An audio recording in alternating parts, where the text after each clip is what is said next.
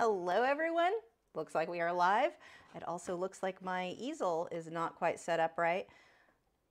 I have decided I'm going to have to make a checklist before I start live streaming um, for the, the stream itself and then after because every time I think I'm, I've got everything, it's always like something major that I forgot. There were some major things I forgot today hence me being three minutes late. Sorry about that. Okay, so today we are going to be painting a seashell in acrylics. The link for in the See, I already can't talk. The link for the reference photo is in the video description. You can download that and paint along with me. I'm going to be working on a Fredrix watercolor canvas board. These guys are, it's your usual canvas board. Unlike your usual canvas board, two things. One, it's super, super smooth. Two, it's not gonna warp like many of the generic terrible, terrible things you find at local art supply stores. So this one is one of my favorites to paint on for acrylics. And I know you're thinking, well, it's watercolor. Why are you doing that with acrylics? Actually, some of you aren't thinking this because you've heard me say this before. I love these for acrylics because they're so, so smooth. So it's really easy to get fine detail. It's really easy to get smooth blending. If you have been working in acrylics and you're having a really hard time where the finished results kind of bumpy and rough looking, your canvas may be too rough. Try a smoother surface will make a huge difference. Okay.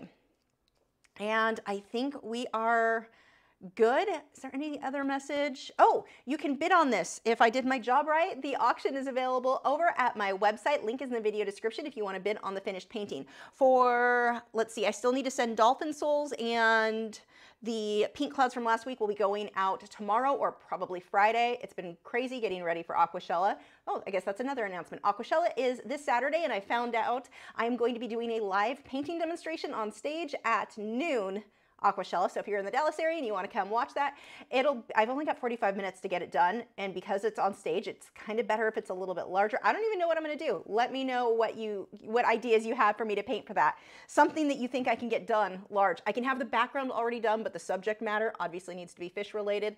So yeah, that's going to be a challenge, um, but fun. And what else? There was one other thing. So we had Aquashella. We have the auction, you can bid on that.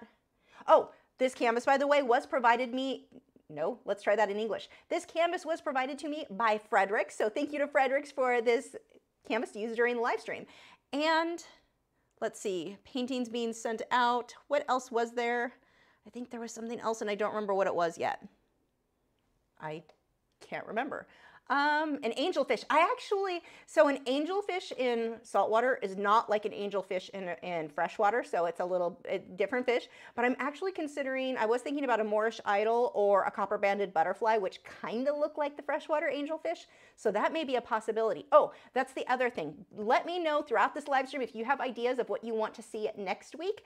Any suggestions? This shell was something that someone else had suggested, so I definitely am listening to your ideas if it's something I think I can get done in a about an hour.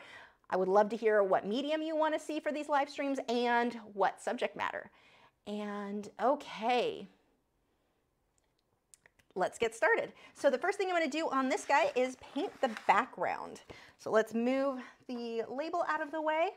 And I'm going to be, I may have to adjust the lighting on this as we get going. We'll have to see. We know we always do.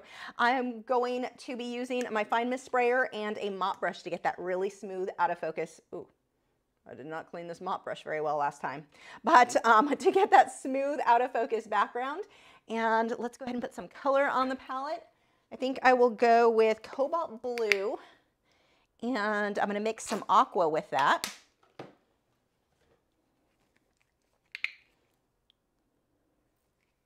And then I'm definitely gonna need some raw sienna and white for the sand. The sand is mostly gray, so it's mostly gonna be black and white. But we'll get a little bit of raw sienna in there. And I need a paintbrush. I'm going to go with this number 12 Filbert.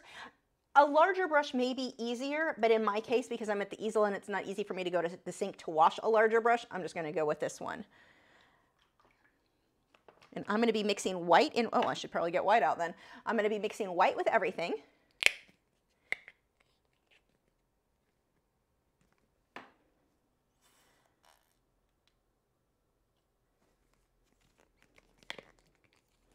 If you have any questions, leave them now. I'll be answering them at the end of the stream. I'm also going to be sharing all of the ways that I make money as an artist. So hopefully that helps some of you who are looking to be to make a living as an artist. Okay, I'm gonna mix some of the blue.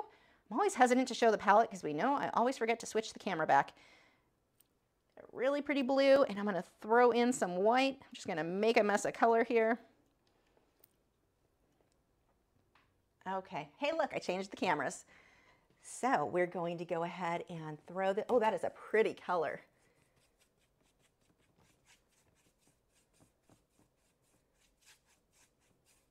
Wonder if I remember to paint this the right side up. I always hate, it doesn't really matter, but I half the time paint the, so it's upside down with the background or the, the backing with it says Fredrix. I don't know why that bothers me, but it does. But it's right side up tonight. So I'm just gonna do this in a sort of diagonal. Now if this starts to dry, all I'm gonna do is take my fine mist sprayer and go over that. You don't want to overdo it, just light mist.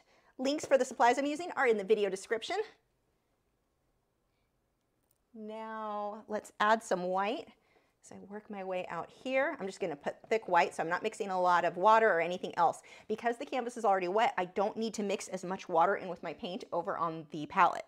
So I can just take a chunk of paint, go right over that.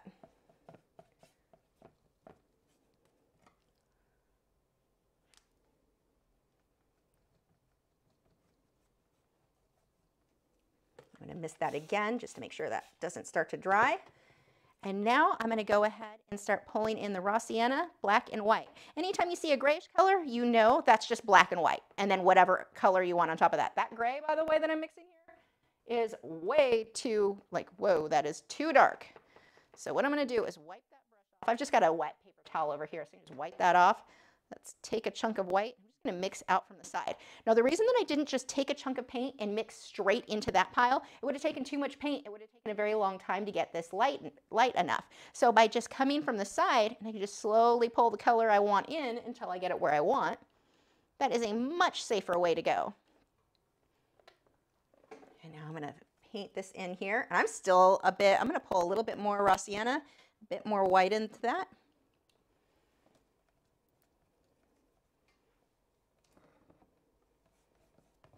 One of the things that I do at the bottom or on my easel, you can't really see it right now, but I have contact paper that lines my easel. So like right now, I'm getting a ton of paint.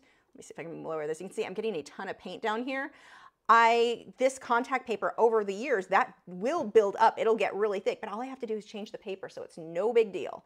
Very, very easy. When I used to paint just straight onto the wood canvas, what I would have to do is take a razor blade and scrape that off. I mean, you can do it. It's not the end of the world, but this contact paper or shelving paper. It's fairly inexpensive and just every few years I swap it out. Makes things much easier. Now this is too dark, so what I'm gonna do, I wanna keep this wet still, so let's miss that again. I'm gonna wipe the paint off my brush and just go on right over that. I want this to transition really soft between the blue and the sand. I do not need this perfectly smooth. I'll smooth this out with a mop brush. Let's grab a bit more white paint.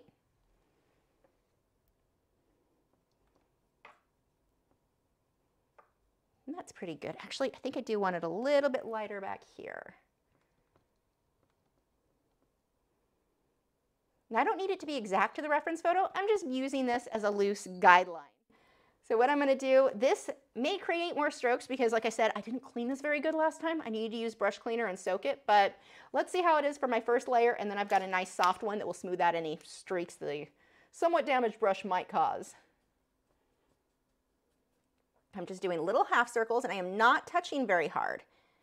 If you push very hard with your mop brush, you start creating strokes instead of getting rid of them. If you look at the brush and see how I've got a lot of paint, I'm pushing too hard in all honesty because I'm in a really weird position with where the camera is located.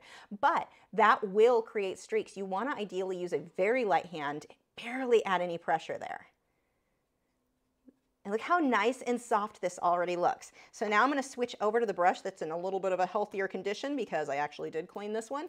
And I'm gonna get those final strokes out.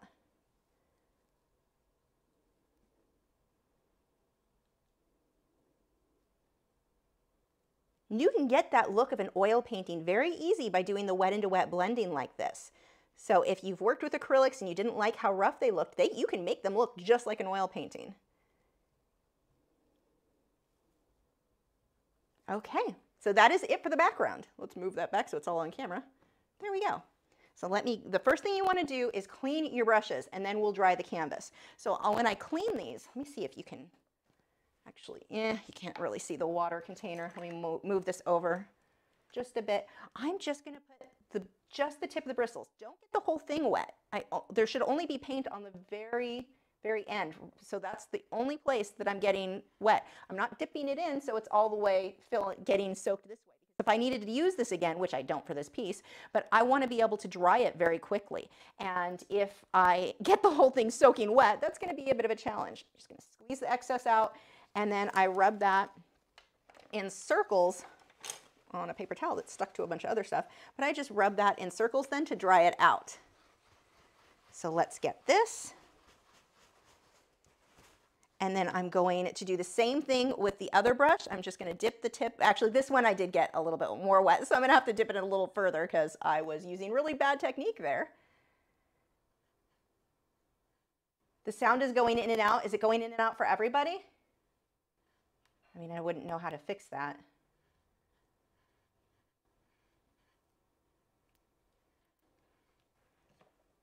Oh, I don't have my audio on my notifications, so if somebody did message me about that, I wouldn't have seen it. It's crackly. Okay, hold on. Let me see if... Did that make any difference? Let me know how that is if it's still crackly. And if it is, I have absolutely no way to fix it besides plugging in and unplugging another one. Somewhat. Okay, let me try the other one. If not, I may have to call it because unfortunately, there is nothing seems better. Sounds like my mic. That's fine.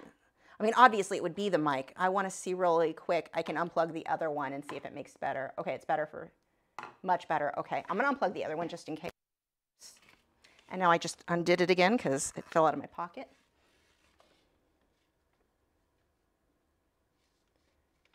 Hold on. Let me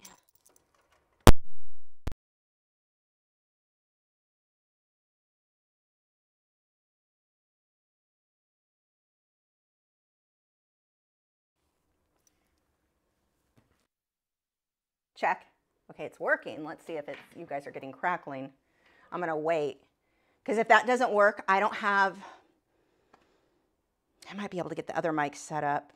I never installed the other one, so.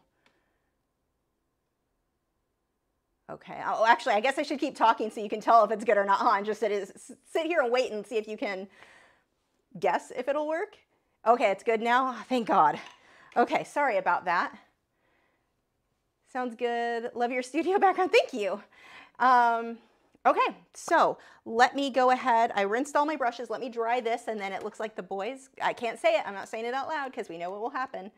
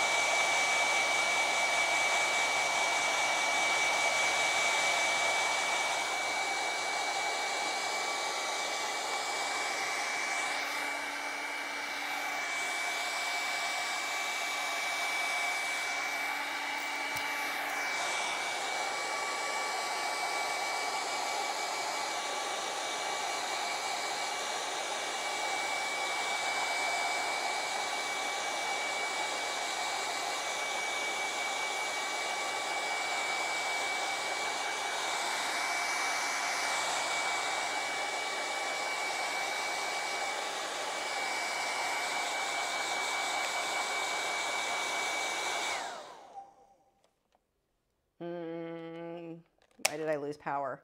Hold on.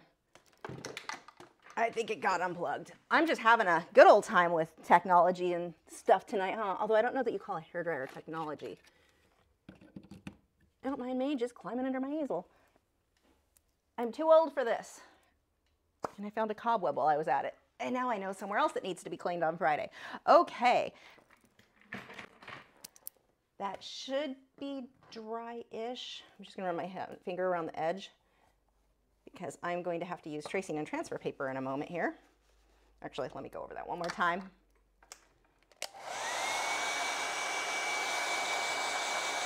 So does, so does mine, Kay.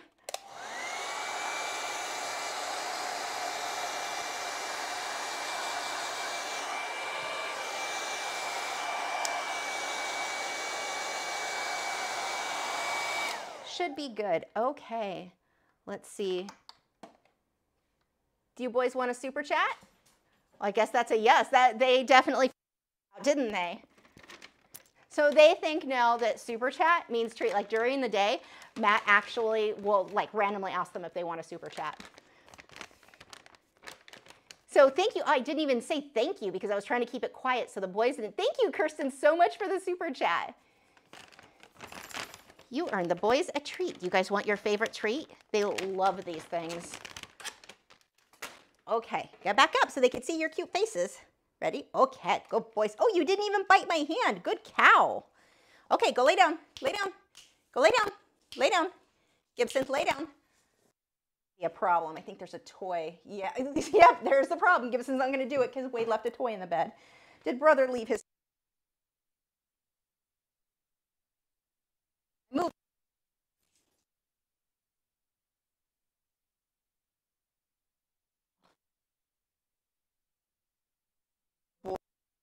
funny because Gibson will not lay in the bed with Wade. I thought he was about to do that. So thank you so much for the, I'm not saying it. Boys, thank you too. Oh, Wade, are you gonna snuggle with your new, your new baby? Okay. I don't know why they switch spots every time. Now, the next thing I'm going to do, I have pre-drawn out. Studio chair doesn't have wheels. It should. I have a carpet under my my easel so that it catches all the dripping paint, but it also makes it so the rolly chair skips all the time. So what I'm gonna do, I've pre-drawn out my shell. I'm going to stick that, I'm gonna tape the upper two corners. Now this is important, anytime that you're, oh wait, I'm ahead of myself, I lied. We haven't even painted the sand yet. What in the world is wrong with me? Um, okay, let's try that one more time. What I'm going to do is take, to create the look of sand just along the edge here, I am going to take a brush. This is super stiff. I don't know if you can see, like really damaged. I don't clean it well on purpose because these work so much better if they're stiff. You can also use an old toothbrush. Those are excellent, but these I find to be easier and I will use a palette knife to do this. So the first thing I'm going to do is with a separate brush, mix in some different colors. Let's start, I'm gonna make a darker color, so let's go with some raw sienna, some black, and some white. I really just want darker versions of what whatever colors I've already used in the sand. That's what I want here. And I've got to thin it with a decent amount, amount of water. For this to work, it's got to be a lot thinner than you normally would use. So now, I can just dip that in there. And I'm going to flick the paint right along the edge here. I've got to be careful not to go too crazy because I don't want to go way back here. If I do get it where I don't want, all I'm going to do is take a, a damp paper towel and wipe it off. I just want that along the bottom so we get that little bit of detail. This is the easiest way to make sand. Now as I move back here, what I'm going to do is take a clean brush, a little bit of water. Actually, I can just use the one I used earlier because it's already wet. And I'm just going to slightly go over that it's gonna wipe some of that down so I don't have too much sand moving back here. Just soften that out. Just a little bit of damp. If it's wet, it erases all of it. I'm not trying to do that. It's smudging it just a little bit. Okay, now I'm gonna do the same thing, but with white. I don't even need to mix any other colors in it. Just white by itself is fine. But I do need to thin it out with a decent amount of water. I don't think you can really see what I'm doing here.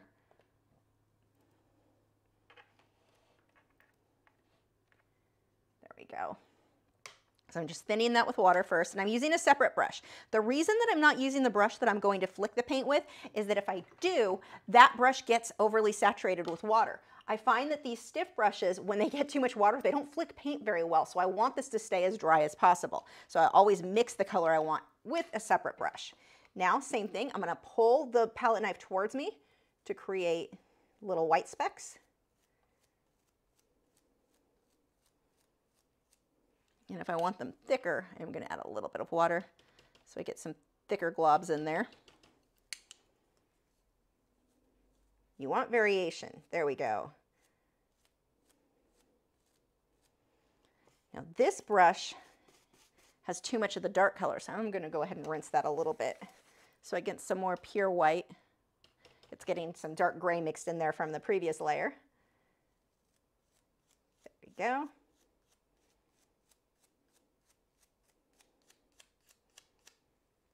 And then anywhere, if I went up too high, I'm just gonna take that brush again, soften that out.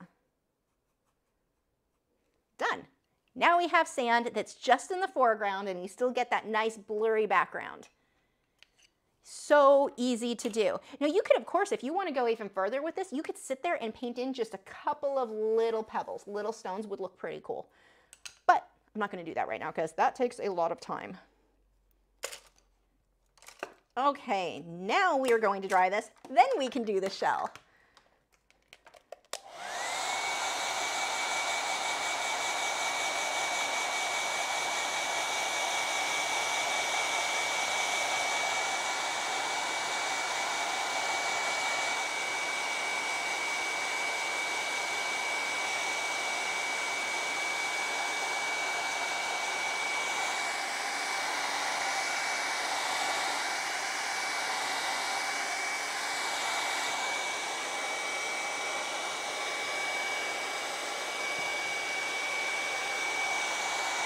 Now, a little tip, these have a lot more water in the mixture and they may take a little bit longer to dry. So even though they seem dry, spend a little bit more time on those because you flicked it on a lot heavier than the paint that you painted on, if that makes sense.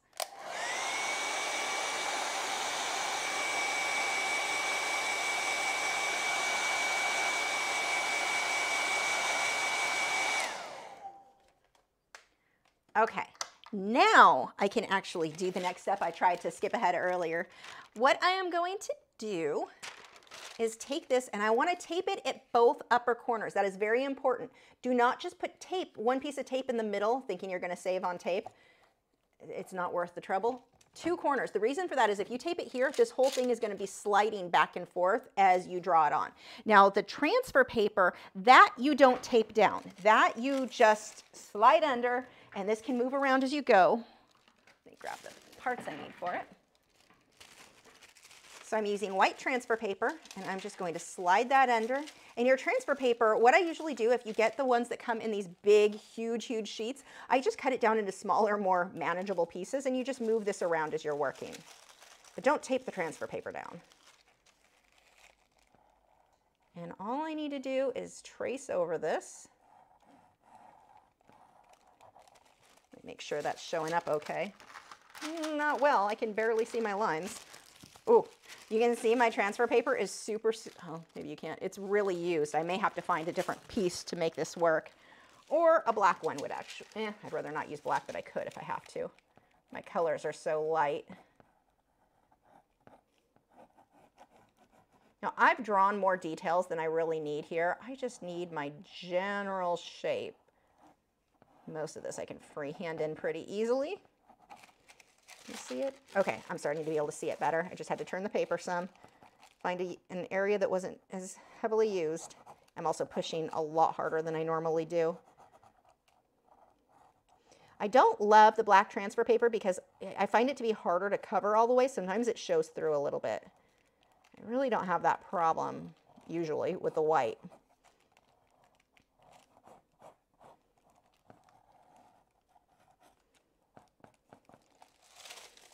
see, was that good enough? Good enough, I can see what I need. You guys won't be able to see it, but the point there is that I just want really light details. Again, if you've got ideas for next week's live stream, please let me know in the comments.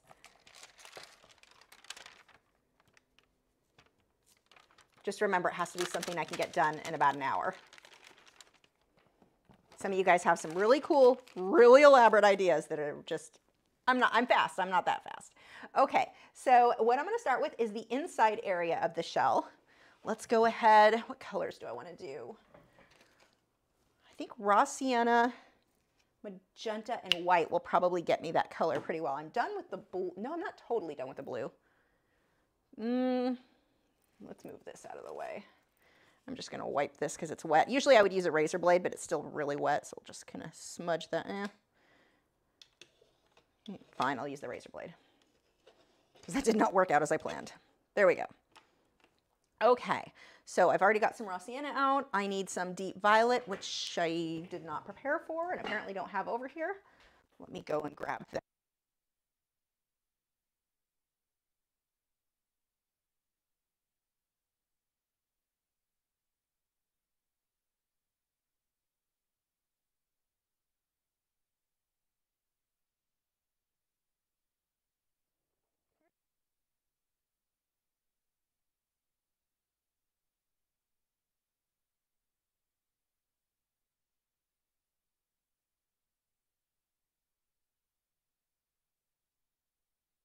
How did I lose an entire tube?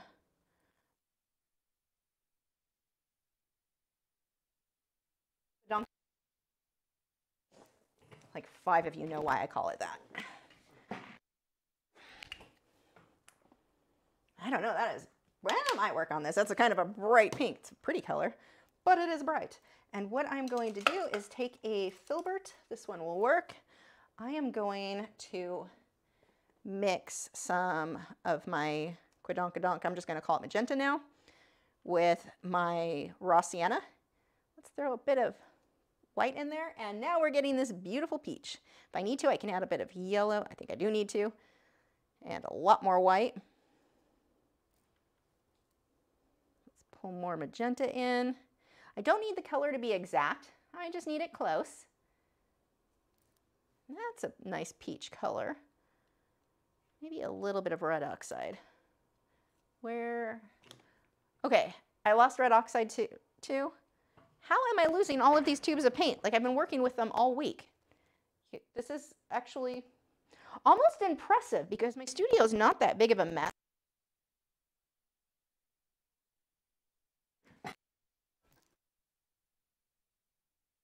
Mission. Have to be, oh, I found the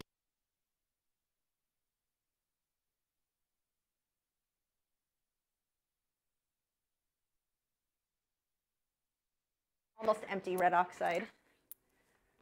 Sorry about the delay here. Yes, I absolutely could do a watercolor live stream in the future.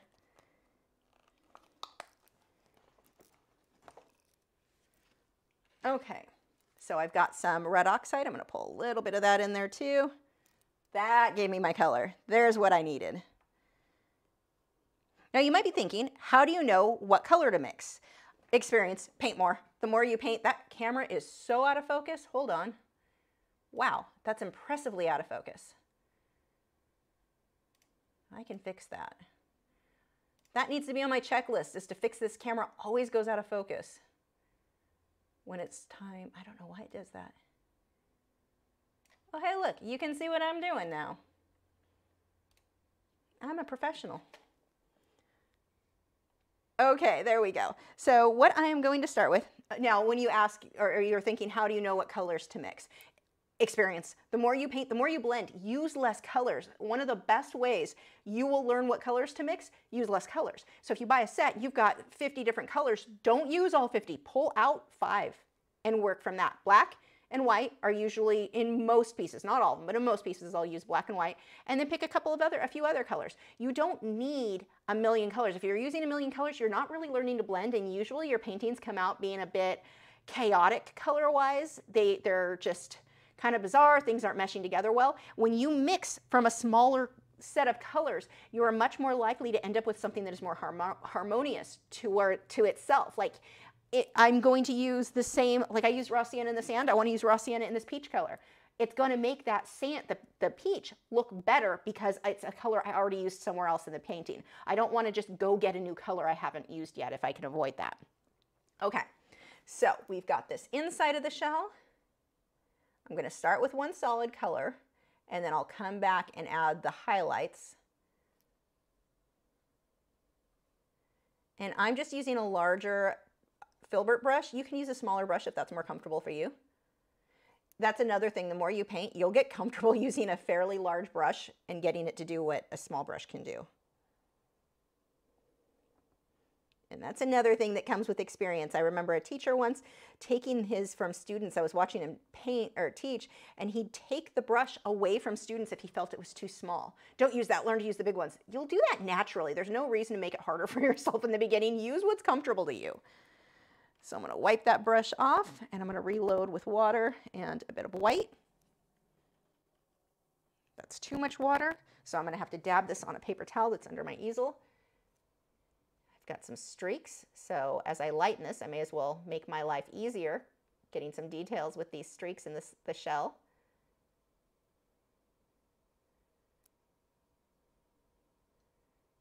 And look, it just so easily, I've got detail without, like, it's all blended and nice, and I didn't even have to put much effort into it.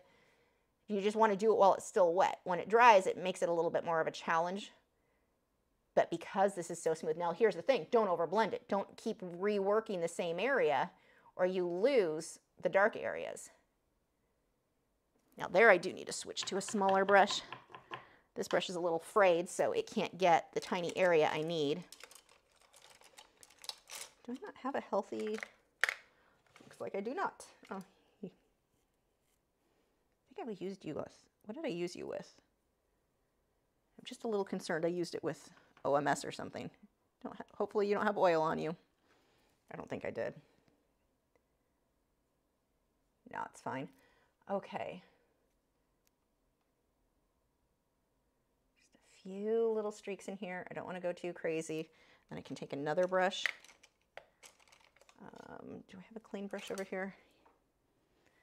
I don't even know what you're from. You are really damaged though. That is a frayed brush, but it'll work. It's just clean, a little bit damp, and I'm gonna soften out some of those lines. And then we've got a little lighter area going the opposite direction here. And then I'll add some shading once this layer dries. Light area here as well. Let's get some more white.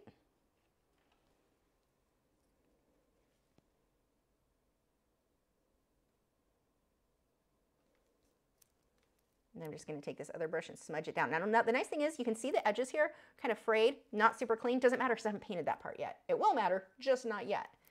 Now, I'm going to use the same brush. I'm going to mix some white in with the color I was previously using for the base of the shell and pulling a little bit more of the raw sienna so it's a little bit more of a golden color. How many times can I say a little bit? Apparently a lot. And we're to come right down here. This is a little dark. That's okay. I can come back later with highlights. Now, one of the reasons I'm not having to put worry about a base layer, like all of this is showing up really well over the blues, is that I've got so much white mixed in with it. Since they're all light colors, it makes everything a little bit easier. Look, I said a little bit again. I feel like I should get a reward for how many times I say it.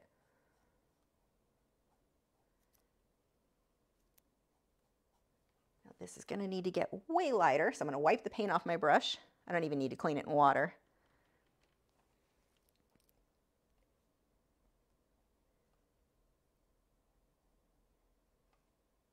Now don't overblend. I want some of that previous color. See that golden tone? Leave that in there. I'm not trying to completely cover everything. That's definitely something we have a tendency to do to just keep blending and blending and blending. One brush stroke looked good for, so 50 must look amazing. No, like just a couple of brush strokes to blend out. Don't overblend. Okay, now we've got more of this orangey color.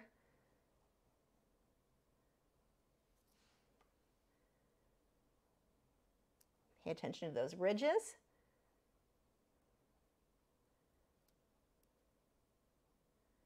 I'm just going to go one solid color. We'll do all of our shading and everything right over that.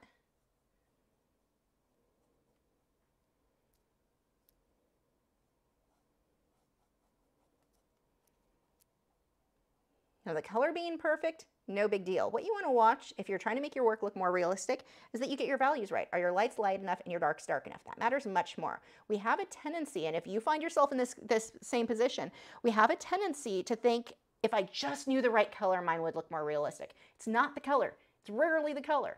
There are exceptions. There are times like using yellow in a portrait oftentimes makes things look sickly. But more often than not, the problem isn't the color that you're using, it's your values. Are your lights light enough, darks dark enough? So if you can get yourself to stop focusing so much on color and start focusing on what really matters, the values, then your work is gonna look a million times better. I've seen where people want to spend so much time before they even start painting, fussing over color theory and learning color theory. It's not the thing that matters so much. I'm not saying there's not a place for it, but it's not everything. And that's the, the problem that a lot of people, when they're beginning, they think that the color is just, it's everything. You definitely want to get that out of your head. You will progress so much faster. So I've used more of that peach color as I say, don't worry about color. I'm telling you I'm changing colors. But using that peach color, let's pull that down here.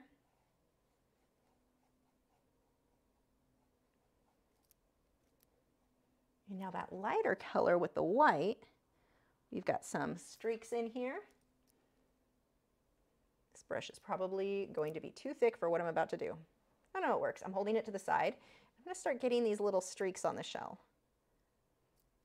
And they start curving up. So don't, that's the other thing. Have, people have a tendency, they'll do one line and like, okay, that curve is perfect. It looks so good. I'm going to do that over and over and over again. It won't look right. Look at the reference photo, how these start curving this direction. They curve up. These are the things you want to watch in that photo.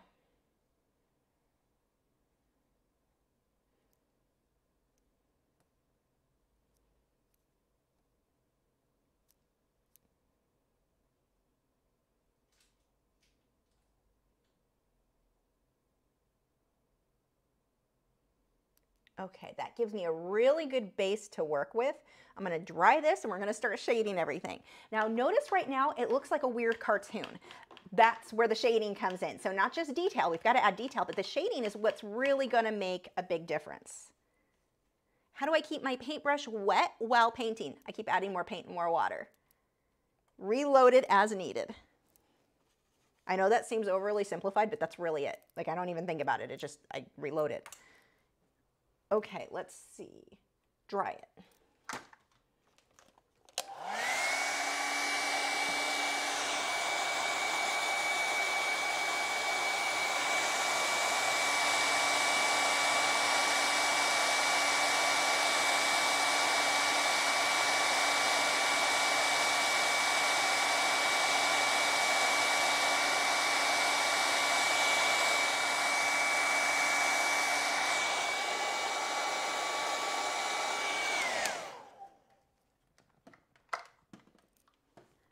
Let me grab, I could probably use the same brush. Or where's the round one I've been using on this week's Patreon lesson, which should be up for you guys tomorrow.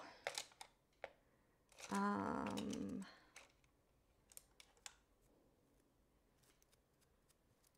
it'll work, but it's not what I'm looking for. Where are those brushes? Weird. I have lost everything tonight.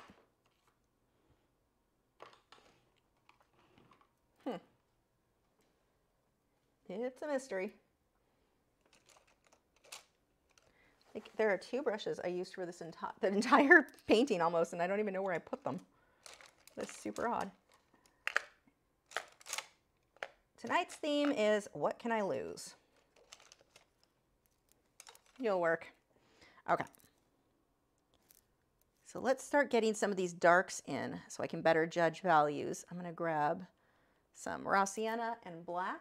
Now normally black isn't, and especially on something like this, would not be my go-to to make everything darker, but this actually does have a really dark area in here. I'm gonna add a bit of magenta in with my black. So it's a bit more rich. And some water, of course, to thin it out so it'll blend out nicely. There we go.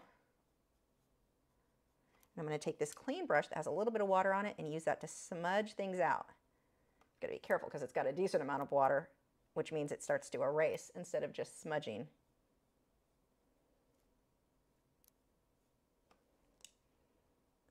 Thin that out. Yeah, the magenta looks so good in with that black. It kind of looks just black to me on screen, but in person has a much more realistic look. And this is sketchy. This isn't perfectly smooth. We've got a few little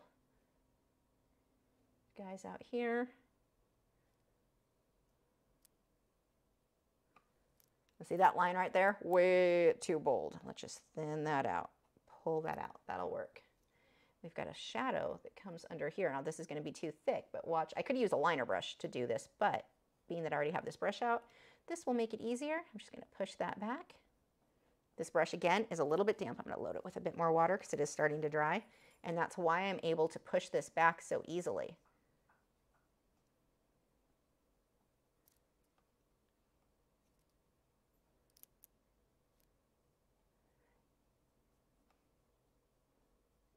Needs to be a lot thinner, so I'm going to keep pushing that. We've got a little bit of a shadow in here, a little ridge, some shading.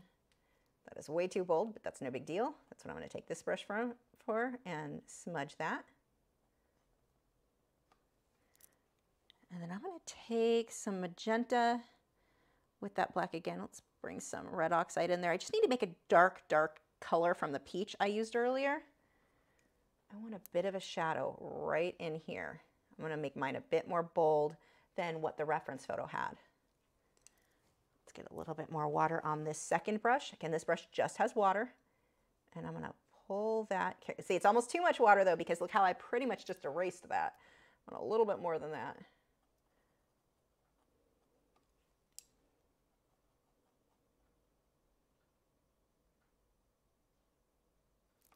Stop whoever's doing that.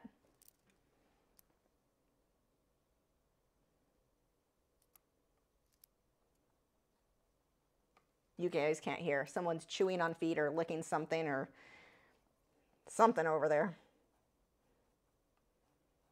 Just pulling that shadow out. See how I start to create more dimension in this. I'm going to pull this right along the edge here. I'll be putting a highlight over it, which will make more sense later. I'm just lightly going over this. Now, one of the reasons this works so well is this canvas is so smooth. If you're working on a rougher canvas, that is going to be harder. You're not going to get the same look with the shading. It'll be much bumpier.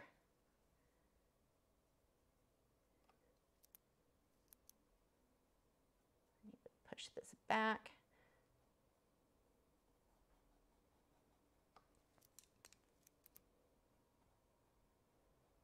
Create some of these little lines, blend those out a bit.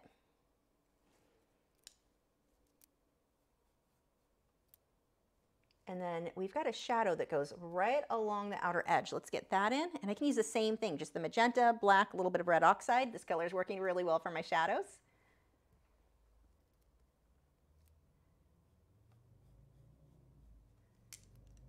But I'm to definitely need a bit more water on this because that is bold. We want to tone that down some.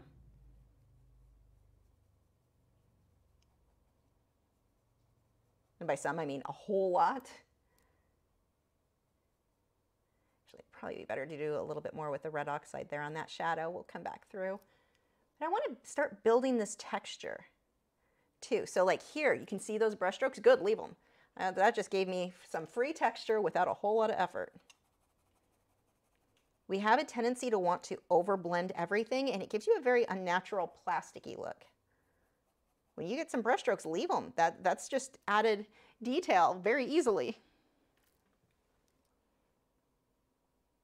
Oops, that's a lot of paint. Let's wipe some off. See, as I streak this, I'm pulling it the direction of the shell. We want this to round out.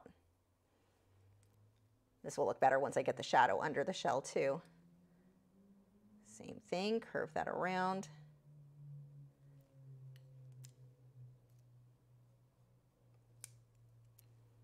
Let's pull this one in as well. I'm leaving those streaks, don't overblend. Now we've also got a darker shadow, I can use the same color, right under the shell. and I'm going to pull this just a bit into the sand. Not crazy. We're midday here, so we don't have super crazy harsh shadows. And see how I'm, I'm just using the same colors I already used. This isn't the color of the shadow in the reference photo. That doesn't matter. I'm using colors I've used in other areas of the painting, and it works. This is what I'm talking about with do not overly fuss over perfect colors. That's just not that big of a deal.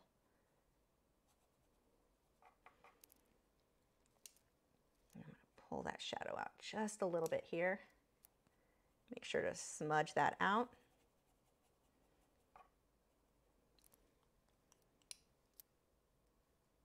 Okay, let's rinse this and I'm going to start bringing in some of the whiter highlights. Again, you can bid on this. The link is in the video description if you want your chance to buy this. Its starting bid is $65. It is an 8 by 10. Okay, a little bit of white here. Some of these I'm not going to blend at all. I just want them to be pretty harsh.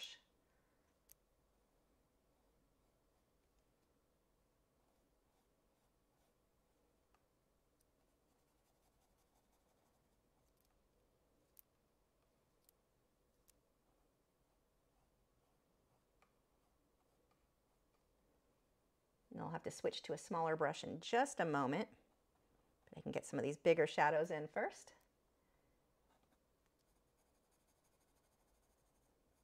See how I fan this out where I follow the direction of the lines of that shell?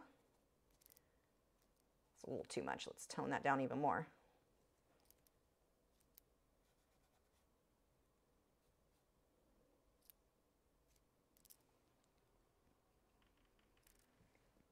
And then we go here. I'm going to pull highlights in there and just let these fade out. Same thing I did with the shadows. I'm leaving those streaky. I'm not trying to make it perfectly smooth.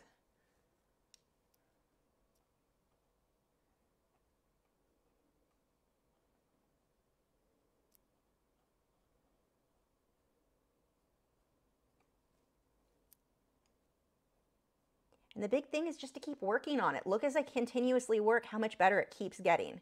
Just little changes are going to make a huge difference. You can switch to a liner brush or a round brush if it's easier for you to get these types of streaks. Okay, I am going to switch to a liner brush now. This guy is almost finished. I like him. This would look good on my wall.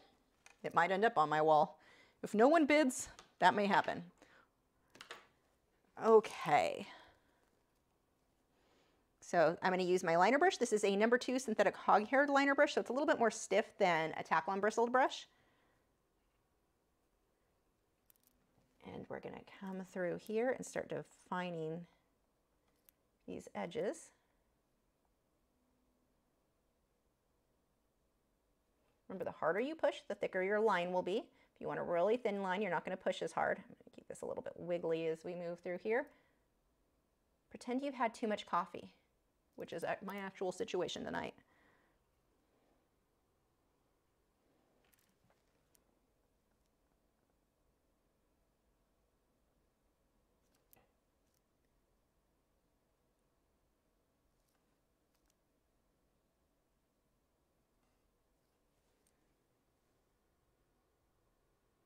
Um, am I, are you wisp, wiping your brush on a towel to lessen the amount on your brush? So I'm doing two things on my, that's a good question. Let's show you that. I've got a wet paper towel here, so I occasionally wipe it on that, but I also, hit the right button, Lisa. I also have a, move my stuff out of the way so you can see. You can see how much I've been wiping my brush on this. This is all, I've always got a paper towel, and this is, well, it's half wet, half dry, just because I keep wiping water on it too. But I always have a paper towel on my easel or under my easel so that I can very easily wipe my brush. So yes, I'm always wiping it there, but I'm also testing here. You can see my lines. I am constantly, somewhere the brush gets wiped before it hits the canvas. It's such a good question. Uh, so that I don't have some big, huge glob of paint. It's a really good habit to get into. I'm glad you asked that because I didn't even think to mention it.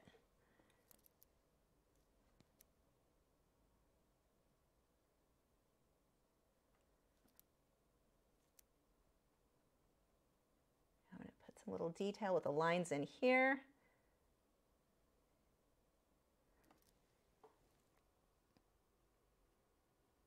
And this is a good example. One of the things that you see a lot, or I see a lot when people submit things for critique, which I need to do one soon, um, but when we do the critiques, they're just not done yet. They're not bad, they're just not done. Look at how, I mean, where if we go back 10 minutes ago, the difference in this from just keep layering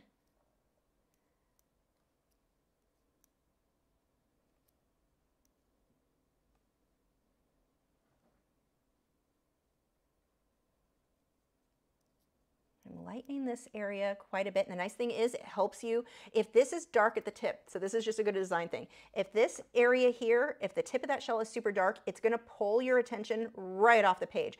By lightening it, which the reference photo has anyway, but lightening that up, it helps keep you in this area so you're not drawn off as much.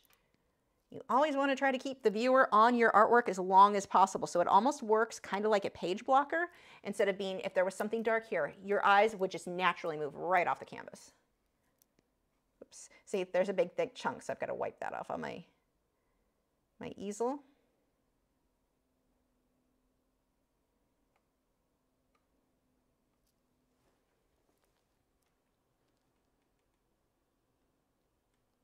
I'm always thinning the paint with it when I use a liner brush with at least a little bit of water.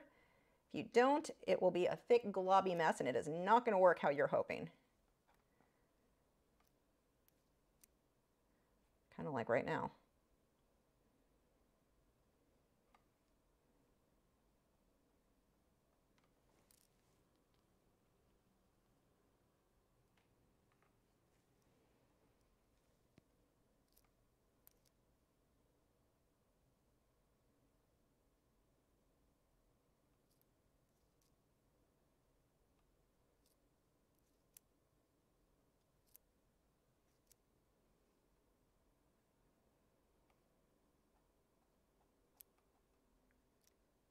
don't know why I don't paint shells more. Every time I do, I love them so much. They're really easy to make look super realistic, but they don't actually take that much time.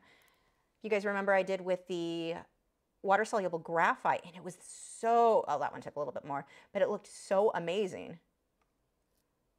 Really cool subject to paint.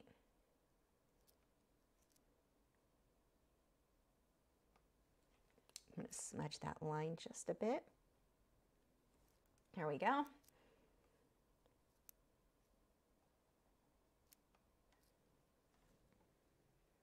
And I need a medium peach. Let's grab you.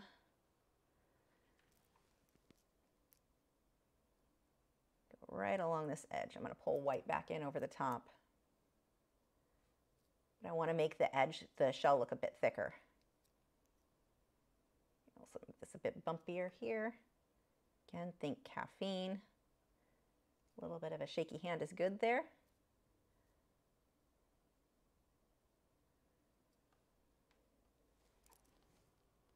I'm going to take this with some darker magenta as well. Let's get a little bit more of a shadow right under here.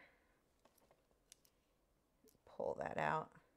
Actually, I think what I'm going to do is dry this let me get the white and I'm going to dry it and put a little bit more shading and we'll be all done. The trick to making this look good, it's not about a ton of detail or the perfect color. It's your values. Light's light enough, dark's dark enough. That's it. That is all it really takes to make, oh, that's a big glob of paint, to make this look really good. Apparently I need a little bit more. There we go.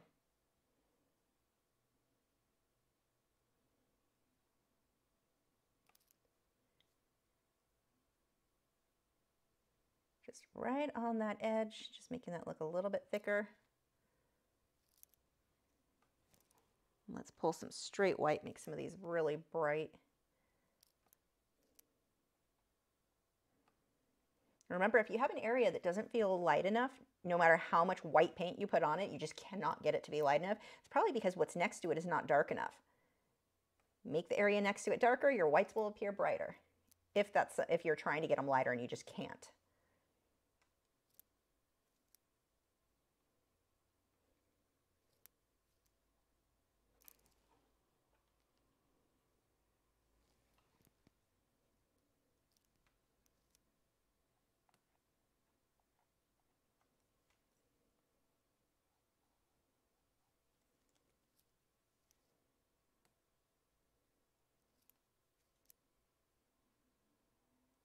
Few more definite lines. And then again, I'm smudging them a bit.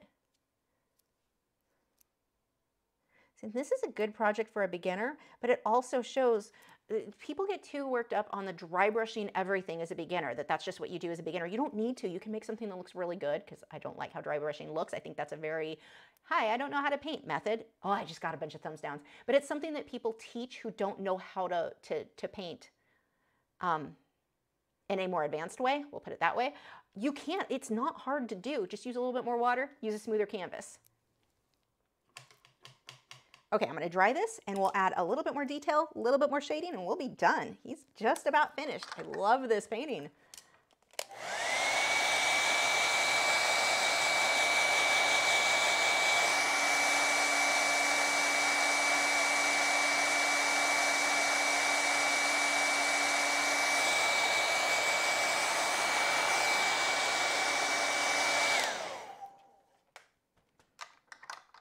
Okay, so you can see this edge. I think this can be a lot sharper. Now, I don't want it too sharp. I do like the softness of it, but a little bit more. And so I don't want to just make a heavy line around the edge. I, I want to just a little bit of a shadow there. That will be enough. So that brush actually should work okay. I need one to, oh no, I'll use you and then I'll blend with you. So a little bit of my red oxide. I'm gonna pull some magenta and a teeny bit of black. More magenta.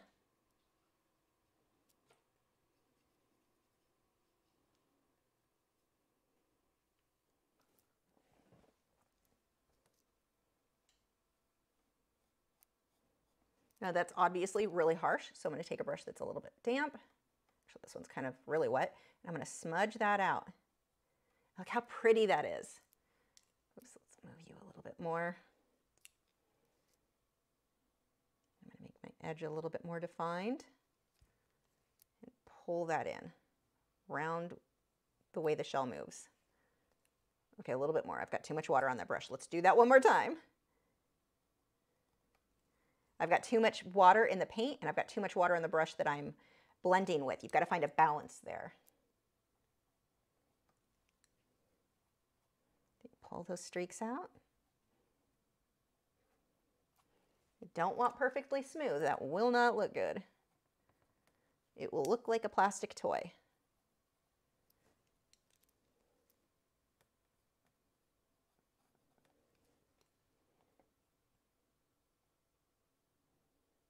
You can also pull some of these shadows, the same color, out into the sand because you would have a little bit of a reflection from the, the shell. So you can use that same color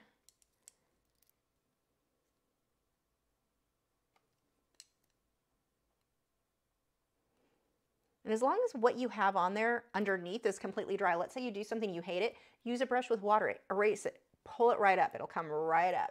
If you're using good paint. I will say I've seen students use crappy paint and the previous layers came up too. So Liquitex Basics, never had a hard time with that. Any of the Liquitex products have always been fine. Golden's would be fine.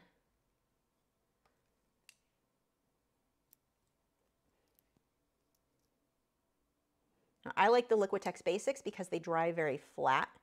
So one, makes it easier to photograph, but also the tracing and transfer paper method works very well with this, where if you're using a higher gloss, let's say golden, and, and these are considered higher end, Goldens or Liquitex heavy body, Liquitex soft body, they're considered a higher end professional paint. But tracing and transfer paper does not work with it. well, they kind of work. I shouldn't say it doesn't. It doesn't work as well. Or a charcoal pencil. And these, this just works well for my technique. So I don't choose Liquitex because they're cheap, or Liquitex Basics, I should say, because they're cheap. They just work so well for my techniques.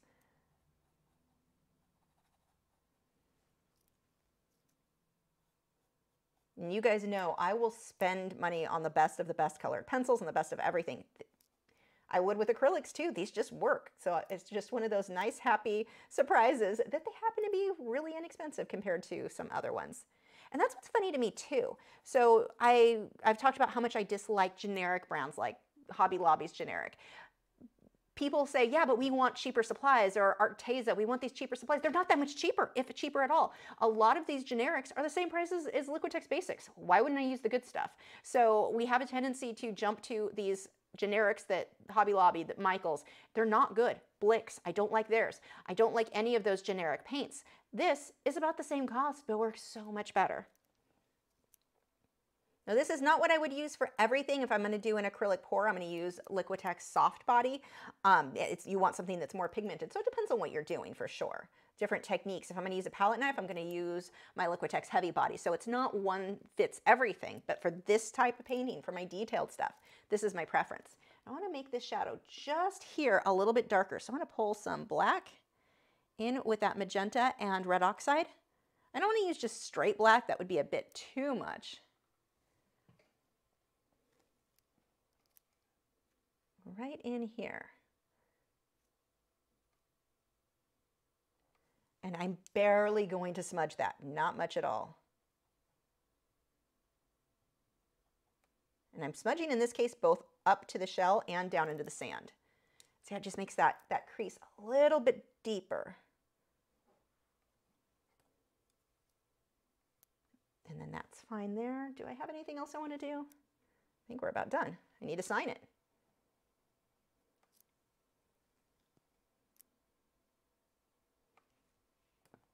I dab my finger and then I'm going to smudge it with the brush because I don't want it that dark right there.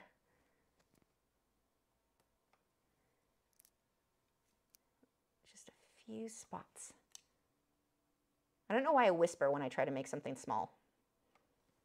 I always notice that when I edit these videos.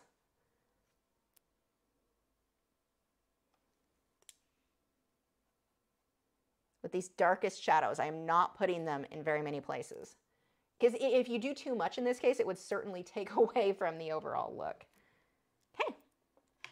And that is it for this guy. So you can see it's really, really easy, really fast, but you've got to pay attention to your values. Are your lights light enough? Your darks dark enough? The color is fairly accurate. I think it's a little bit softer on that blue in person, but that is really close. Let me show you over here. And again, you can bid on this over at my site. What do we have?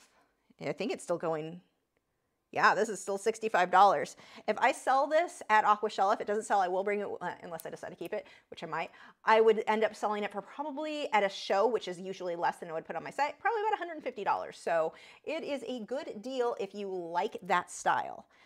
Let me pull it over here because this is always more accurate color, but there we go. I love this. I'm excited about, I always get so excited about shell, seashells. Thank you to whoever suggested this as a lesson because I am so happy with how that came out. That was fun. Definitely going to have to do some more seashell paintings because that is so pretty. Okay, let me clean uh, everything up. I'm going to be answering your questions and I'm going to start by going over the ways that I make money as an artist. Let me first put stuff away. We'll get a message from the boys first. Without treats, these puppies are so sad.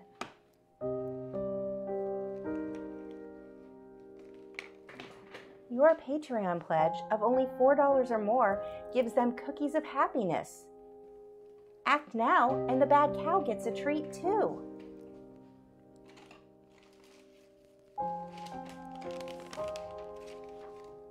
Oh, and you also get over 300 art lessons and a new one every single week, plus other rewards. Sign up at patreon.com slash lachri.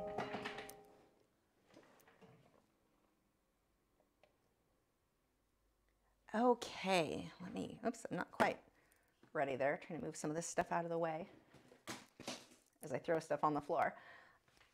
Okay, so ways that I make money as an artist. And as I go through this list, please let me know in the comments ways that you found to make money, especially if it's a creative way that I have not thought of. There's no way I'm gonna remember every single thing because, you know, live stream and my brain sometimes wanders as it does. So let's go ahead and start. You've got several ways that you can make money. And we often think of just the originals. You're, almost no one makes money as a, makes enough to make a living as an artist just selling originals. It can happen. It's fairly uncommon. What happens is, I mean, step back and think about how much money you spend every month. What are all your expenses? Your mortgage or rent, your everything, your food bills, every single expense that you have, art supplies, include it all. Come up with that, that sum. Now, how many paintings do you need to sell to, to hit that number? Can you even paint that many paintings to hit that number? In many cases, no. And it's very hard when you're selling original art to sell it to have this consistent buyer to constantly have a sale. So we've got to find other ways. We really need to diversify our income. So these are some of the methods I have. We have our originals. We obviously have prints. Now some of these are obviously going to be very well, obvious. So we've got prints. In addition to prints, you can have merch and things that you can sell yourself. And I want to show you some of the th things that I have. Postcards. So now these are something that I give, this is for my Patreon, but you can sell postcards. You can make, uh, let's say a five pack of postcards of your art and sell that on your website, which will be coming to the website again. But you've got postcards. You can do, I've got greeting cards in here somewhere. Where are the greeting cards? Greeting cards with your artwork. So you could do an actual greeting card. You could put whatever you want on the inside. I've got my logo on, that's not in focus at all, but there's my logo on the back. But these really nice greeting cards, I get these printed at Vistaprint only when they're on sale. When they're not on sale, not worth it. But if you watch for sales, which I just did, I just ordered a ton of stuff. So those of you on Patreon waiting for your March card that should have gone out in April, I just ordered, oh, they're so good. I can't wait for you guys to see the stuff I've got ordered for you. But those are things you can sell as packs. So maybe a five pack, and it's one of the things I've always planned to do. I just haven't gotten that far. A five pack of card, different cards on my website. So that eventually will be there. But that's a def, an easy way to go. Vistaprint is fairly inexpensive, again, if they're on sale. You can have stickers. These are one of the rewards for Patreon as well. So these are actually really nice stickers and depending on how many you order at once, I wanna say when they're on sale and I order a 100 of them, it ends up being 64 cents per sticker. So if you sell them for two bucks a piece or like a sticker pack with multiple stickers, you they're actually the quality decent. I don't hate them, that's for sure. I like them, I'd buy them. So that's kind of my, my general rule. Would I buy it? Because if not, I'm not giving it to other people. So you can have this sort of merch very easily. You can have coffee mugs printed through sites like, and I wouldn't go with Redbubble. They are kind of screwing over right now artists apparently but like i use fine art america and spring spring is was previously known as teespring some of you know that from youtubers who use them i have merch like the um hoodies. You can have hoodies, t-shirts, tank tops, I bought several for myself.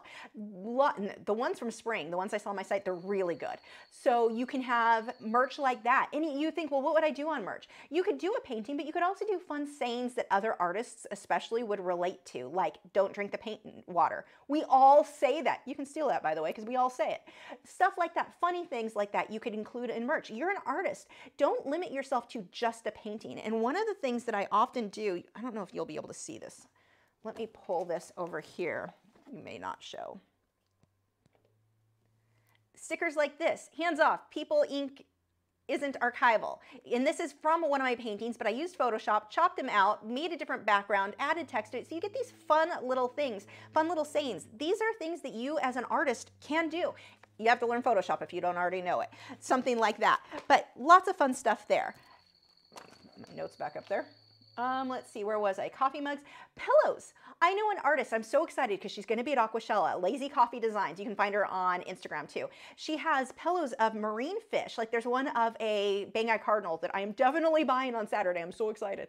So she's got fun pillows like that. And even me as an artist, I can paint my own Banggai cardinal, but I like her pillows. I want them. So I, if I'm willing as an artist to buy something from another artist like that or put my money into that, you know it's cool. So this is certainly cool merch like that keychains she's now got. And she sells a lot of stickers. She uses, I think she said Sticker Mule is who she has her stickers done through. So that might actually be higher quality, better price. I'm not sure. I haven't looked into it myself. But that's a way. Puzzles. You can buy puzzles from Fine Art America. They're on my site. I, I have my mom test them for me to make sure that they're good because she's a puzzle freak. So I always send them to her like, okay, see if this, how, how did this um, painting work on the puzzle. So far, they've all been great. The one thing I will say, Fine Art America, Fine Art, what? Where did that accent come from? Fine Art America is that their t-shirts printed horribly. I had a friend buy something like that. I was like, yeah, return that. That, and I took it, took them all off my website. I cannot believe bad, how bad the quality was. Spring, on the other hand, amazing quality for clothing. So you do have to kind of figure out, okay, this company works well for this product. This one works well for that one. Watch reviews, see if you can find reviews for stuff um, puzzles, sweatshirts, t-shirts.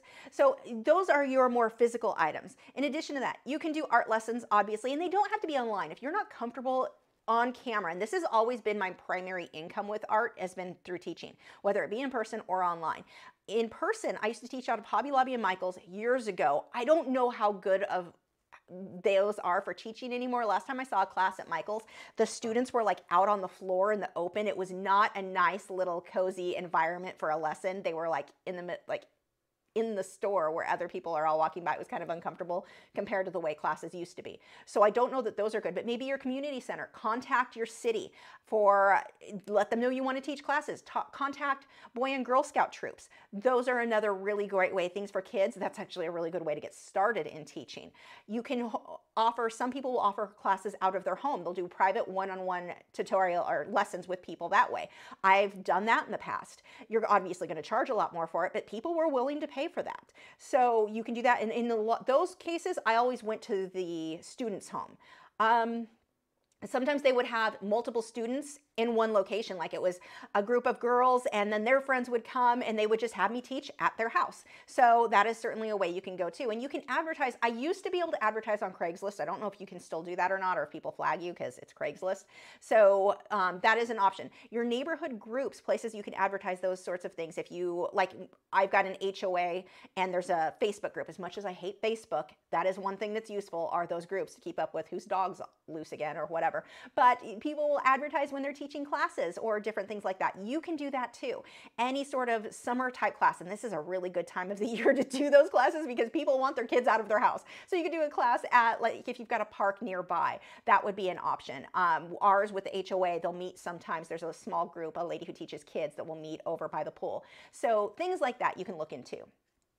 You could do coloring books or coloring pages. This is something that I offer to Patreons, eh, patrons, the Aqua tier, the $14 a month or higher tier, where I, for four coloring pages of my artwork a month, and it's actually not hard to do. There, and I'll put a link, oh, can I find it? Have to think of where it was. But if I can find it, I'll put a link to the the tutorial I used to do it in Photoshop, the way that I've been doing the coloring pages. I love the results. Like I actually want to color them. So there, it's a really good way to go. But you could do that with your own paintings. You could make an entire book of that. You could sell it as a digital download where people could download it, print it, and color or paint over it. Or you could actually publish a book. That would be really nice income for you to have that just kind of a passive income. People just buy as you go. Some websites will print on demand. It you don't make as much doing that, but you don't have to put the money up front. So that's one of the reasons print on demand sites tend to be good. It's why I personally use Fine Art America for my prints that sell online. The good thing with those are I don't have to ship them to anybody. Any, any of you guys waiting for your paintings right now, you know I take a while to get things shipped. I just don't have to, like time is an issue. Well, in this case, I was also making sure that the fixative was totally dry because I'm new to the oil pastel fixative, but I just wanted to be safe. But this way, if somebody buys a print, now I don't make a lot of money. I might make 75 to $150 a month selling prints. It, it's not going to pay all my bills, but it's one additional thing. All of these ways are ways that I make money, not just one. When you add them all together, then, it, then you're making enough. So I like Fine Art America too because I was able to embed it into my website. I don't have to send you to their site in order to make a purchase. So that's a nice thing. You've got affiliate links. So if you've got a website, which you should, that is such a must. Facebook, social media, those are not your website. You have no control of when they decide, no, we think you might have violated a rule, even if you didn't, and you're banned. So it happens all the time. Sometimes people people get their account back, sometimes they don't. So you want to have your own site. This is your hub where you can buy people can buy anything from you. So you can have affiliate links on there. Sign up with Amazon, you can sign up Blick I think has it. If you're doing let's say a blog post on your website telling about the supplies that you use, you can have affiliate links to all of that. I might make I don't know, depends on how many affiliates I have going at a time. I may make $500 a month doing affiliate links. And it's easy. It's just linked on there. And that's through multiple. It's not just one thing. I've got, you know, affiliates from a few different things. So that adds up. Sometimes it's more, sometimes it's less, obviously. But a great way to have a little bit of an additional income. And it's not like you're having to push products because I'm not comfortable doing that unless it's something I use. So I only link things that I actually use. I'm not having to be like, hey, buy this health supplement that's probably a horrible placebo because the company who contacted me is shady. I get contacted for those a lot. But it's not, I don't have to do any of that. All I have to do be like as I'm painting, supplies for what I'm using are in the video description. Supplies for what I'm using are on my website. And it's just an easy way for one more little egg in your basket of incomes. That isn't how that saying goes. You knew what I meant. We've got ads. You can actually put ads if you want on your website. Now, I don't because in the early days of websites, I had Angelfire. Any of you guys remember the old Angelfire websites? Those ads were so um, inappropriate. I don't want those on my site. So I don't personally do them. I, most of the time it should be okay, but Google, you can do ads on your website and make some decent money just from the site you're you already have anyway. So that is an option, not an option I've chosen. So that's the one I think thing I'm suggesting tonight that I didn't personally do, but it's an option. Sponsorships. So let's say there is a product that you like. I've done sponsorships for, I'm trying to think when, uh, there was a tablet that was pretty cool. They sent me to do digital art. I thought it was cool. I liked it. I did a spot. They paid me, they gave me the tablet, and then I think they paid me, I don't know, 100, I don't remember what it was. It's not usually a lot, 100 or $200, depending on how many viewers you have. But that is, if you've got a YouTube channel, that is an option for making money. Now, you can do things an, uh, like a spoken ad in in the middle of your videos that has nothing to do with art. You don't have to stick with art supplies. I personally do just because that's what I'm comfortable with, but it is one more additional thing that you could make money doing. Commissions. This is pretty obvious. People portraits animal portraits, houses. You can draw houses. Somebody buys a new house, someone who wants to give them a housewarming gift. What a great gift, a photo of the house, a, a, drawing. It can just be a pencil sketch of the house. People love those. Like, and they're actually really fun to do, but and good practice for buildings. But that's a really cool thing you can do too. You can take commissions. Now, how do you find buyers? And then of course the lessons, you can do digital, you can do in person. How do you get people how do you find the customers? Because you sure you've got all of these things that you can offer. Where do you find them? You've got a few places. Obviously your own website and you will get traffic randomly finding your site but ideally i want to advertise that site. I want to push people from social media platforms. So whether that be facebook although facebook is really useless um, what my one of my last posts i posted out of 33000 people they shared it with 900 and told me if I want to pay $10, they'll give they'll share it with another 900. So it worked out to where it would cost me about $300 per post on Facebook for them to show it to everybody who followed me.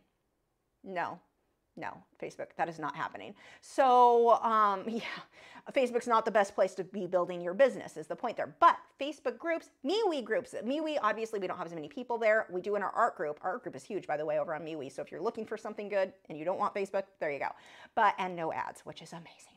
But with Facebook, you could join groups. So, like I said, the HOA group, a neighborhood group, if you've got a mom's group, if you've got, like with me, I sell marine art and I'm in some fish groups. They have Vendor Friday where every Friday they let, they'll allow you to post things you have for sale, whether it be prints.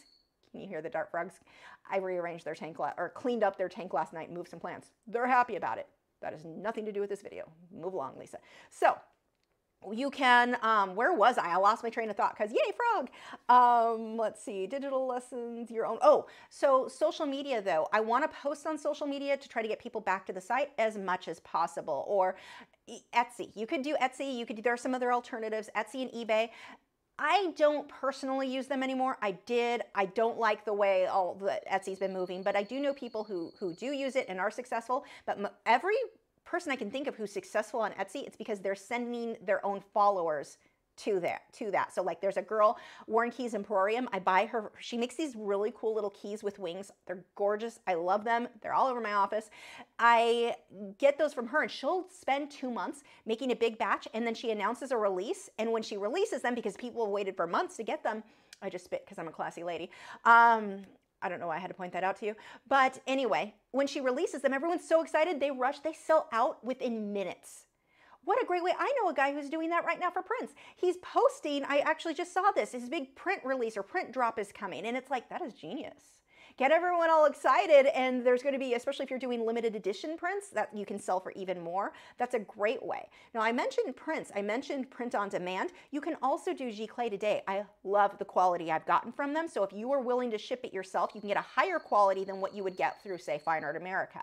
It's just that now you have to ship it and that takes more time. But you could also make a bigger profit if you are printing it yourself and shipping it yourself. You are going to make a much, much larger profit per print than what you would have on Fine Fine Art America. The downside is that now, let's say it gets lost in it, lost or damaged in shipping, you've got to deal with that. Whereas if Fine Art America does it, it's their problem. They'll sort through it with the customer. Sorry, my eye itches really bad. Oh, allergies are so fun right now. Anyway, I finally stopped sneezing, so bonus there. Um, let's see, we talked about the, and you can even, I know that Instagram has a thing where you can have your shop, like if you had a Shopify thing, you can tie that in with Instagram. That is an option as well. I personally don't. I never changed my Instagram to a business account. So apparently, if you do, you get even less viewers. So I've heard, don't know if that's still true, probably because it's Facebook. But pushing people from social media platforms, if you're on Twitter, if you're on, in my case, MeWe, which is so much better, you can link things to your site to get attention. But those groups are one of the best ways I found to get attention. Forums. I use, forums aren't as popular. I see them more for, I, or I at least use them for saltwater. So like Humblefish, I, I post regularly about my fish anyway, so they don't want you to just join and spam them with your business post. I'm a part of the, the forum. I'm commenting on posts regularly, but they also allow me to share my artwork, and so I could potentially get business that way. If you've got to check, check with the forums and rules and ask them if there's a way for you to, to advertise your artwork, but try to find something that's very specific to what you do. Are you into horses? Go to a horse show. Sell your work. Some of the horse shows, different horse events, rodeos, different things will have vendors in there. Get a booth at one of those. Eh, when I used to do pet portraits or dog portraits specifically, you could set up a booth at a dog show. The, these are people who are going to want, like that, they're really, trust me, they are into pet portraits. That's who I've sold most of my pet portraits to were dog show, my dog show friends. I say friends, acquaintances, I don't know. Word of mouth got out with Italian Greyhound people, and that's where I was getting a lot of my my work were from the dog show group, from forums, from online. Now a lot, like I said, a lot of the, the online groups do not allow you to share business posts, but some of them will allow you for one day. Just check the rules. So you want to find where those customer base are going to be. Again, with me, with the marine work, we've got Aquashella coming up this weekend. I will be there. I've got a booth there because there's my target audience right there. Those are the people who are going to be interested in the octopus paintings or octopus prints or the fish. That is perfect. That actually I find to be more useful than normal art fairs. So you've got your general art fairs, art shows. Those I find to be much, much harder to get a sale, the art and craft shows. Most of the people at, and even at Aquashella, most people are walking around, they're like, oh, I only want to spend, you know, 20, $50. They don't want to spend a whole lot. So it's harder to sell my, I don't even bring my originals anymore. I bring one original just as a show off piece, an attention grabber to Aquashella. Other than that, it's prints. Because most people, not even going to buy, it, it's not even worth, worth the risk of damage and travel for me to bring my originals to shows. I only do the one show a year, but I bring my prints to those because most people don't want to pay a ton. Now, one of the things that is nice when you do the in-person shows, in the past it was a problem because most of us only could take cash. Well, now because you can do, PayPal has a little card stripe thing, the uh, Square, is it Square? Stripe, one of those. They have it as well. You've got a card reader that you hook up to your phone and people can pay with their credit card right then and there. And so you can get bigger sales now than you used to be able to. So that's a really big, big bonus. But be aware when you look at the art shows, how much is the fee to have a booth? I do not make that much at these shows. They're fun. They're so much work. And with me and my autoimmune disorders, like the, the fatigue and all that, like the, it takes so much out of me. It normally, I do Aquashella because it's fun and I like the people who run it, but I don't do a lot of art shows. It's just too much. I find I do better just selling online, honestly. But that's me, and I've already kind of, I've built a name for myself, so that makes it a little, a little bit easier. But when you're newer, starting at these art shows, that can be a way to start building that name for yourself. So that would be a great way to go as well. You can, of course, sell your paintings or display them in like coffee shops and stuff like that. I used to, I don't anymore. It is a very, very high risk for the paintings because you've got theft, you've got kids throwing food at the wall. Like they're just, it is very risky, and I don't find it to be worth the risk to the artwork. So it's not something that I personally do anymore, but that is also an option. People almost never buy from the, every once in a while. Not enough, not worth it enough for me to go through the hassle to drop it off, and then the risk of does it get ruined or stolen or whatever. So that's another option, but it's not one of the better ones, I think. Um, let's see. You can, of course, make videos. Selling, and the nice thing with videos is like people are more comfortable buying from me. I found when I started doing the videos because they, they see me, they can trust me. I'm a person. I'm obviously not scamming people. I take forever to get stuff shipped. It's a whole other personal issue, but they get their work. They usually get bonuses because I take so long. But anyway, that is a nice thing to build confidence in the buyer of who you are, that you're a real person, whether that be doing reels on YouTube or on, on Instagram or YouTube shorts even. You don't have to do big videos, but just something where people see you and then link that over to your website. So again, you're, you're showing them I'm a real person. We've got, let's see, and we've covered the affiliate links. I've got my notes over here. Um, you can also show the process. You could just show varnishing. My painting showing the varnish or video showing the shorts Let's try that in English one more time. The videos where I've the just my brain is broken from too much caffeine. I normally don't drink this much, but the videos where I, I, have actually shown varnishing in just a YouTube short or an Instagram reel, those usually perform better than my other ones. So you don't have to go all crazy. You don't even have to show yourself in them, although I do like that and I do recommend you show yourself so people can see you're a real person. It is an option for those of you who don't want to be on camera. Um, we talked about lessons, affiliate links, ads. Um, we did that. You can also, the last thing that I've done where I can make some money, not a lot, but you can write sometimes articles for magazines. So, you know, I've written occasionally, I'll do a lesson for Colored Pencil magazine. I usually do one a year of those. They will pay for that.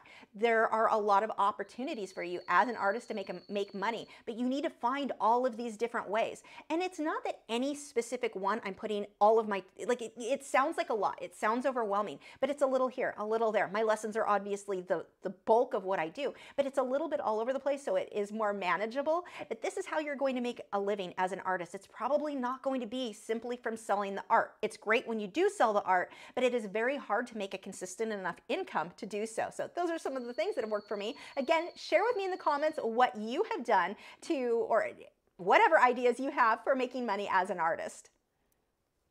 Okay, now we have your questions. So let's go through here.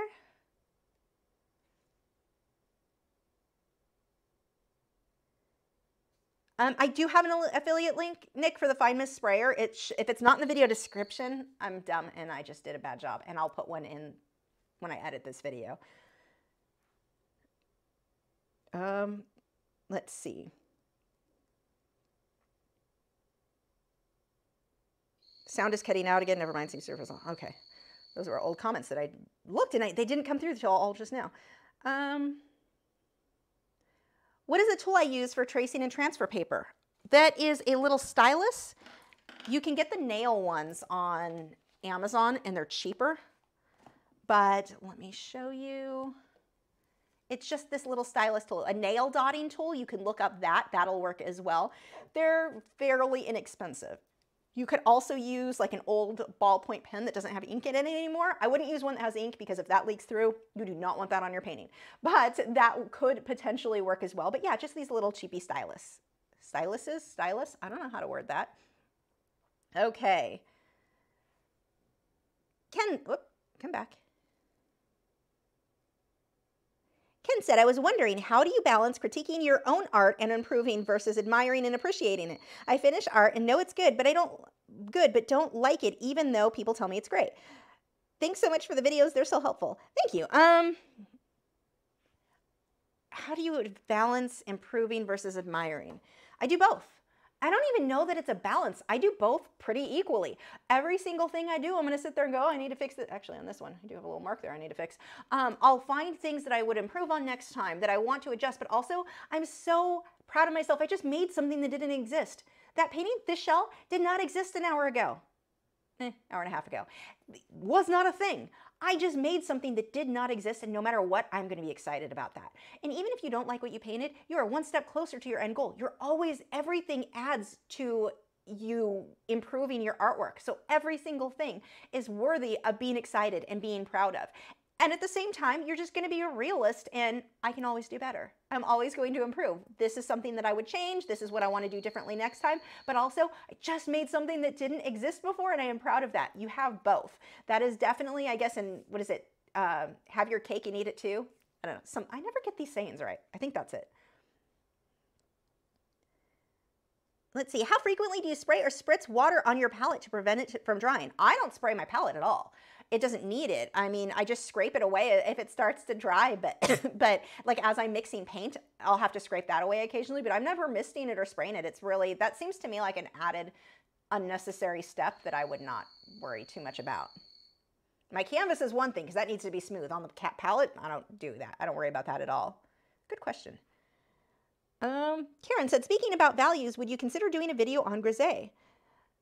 Mm, yeah, I mean, I, have already got some. I have several where I've, I've started that way. It's not specifically on that, but I mean, I've got several videos where I've started in just black and white or sepia and white. So I do have some. Uh, let's see. Lily said, idea for next time, fur on a long-haired cat or wool on a sheep. How to? That could be good. I think in charcoal would make for a good like lesson on fur. That's a maybe.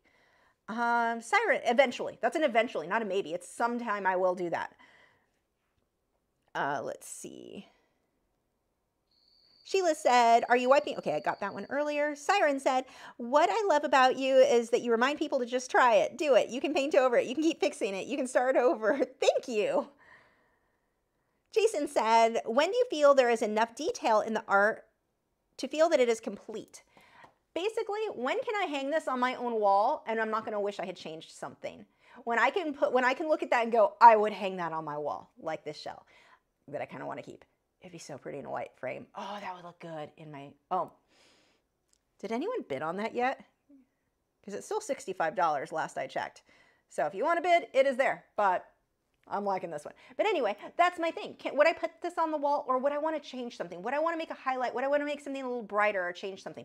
That's when I know it's not done yet when I, whether it be detail, whether it be values, whatever it needs to be. Could I hang this? Could would I varnish this right now is another one. Because once I varnish it, it's done. I'm not going back over it. You can't. It's that it, it is over would I be willing to varnish this right now? Or do I feel like I need to wait until, because I've done this so many times. Well, I don't always varnish a painting until it sells anyway, just because if I need to do touch-ups, if something gets scraped and I can fix it before I varnish and set, it, ship it off.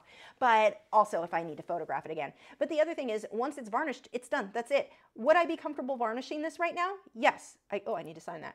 Then we can't, then it's good, it's done. If I would not be comfortable because I think I might want to change something, it's not done. So that there's another good way. Okay.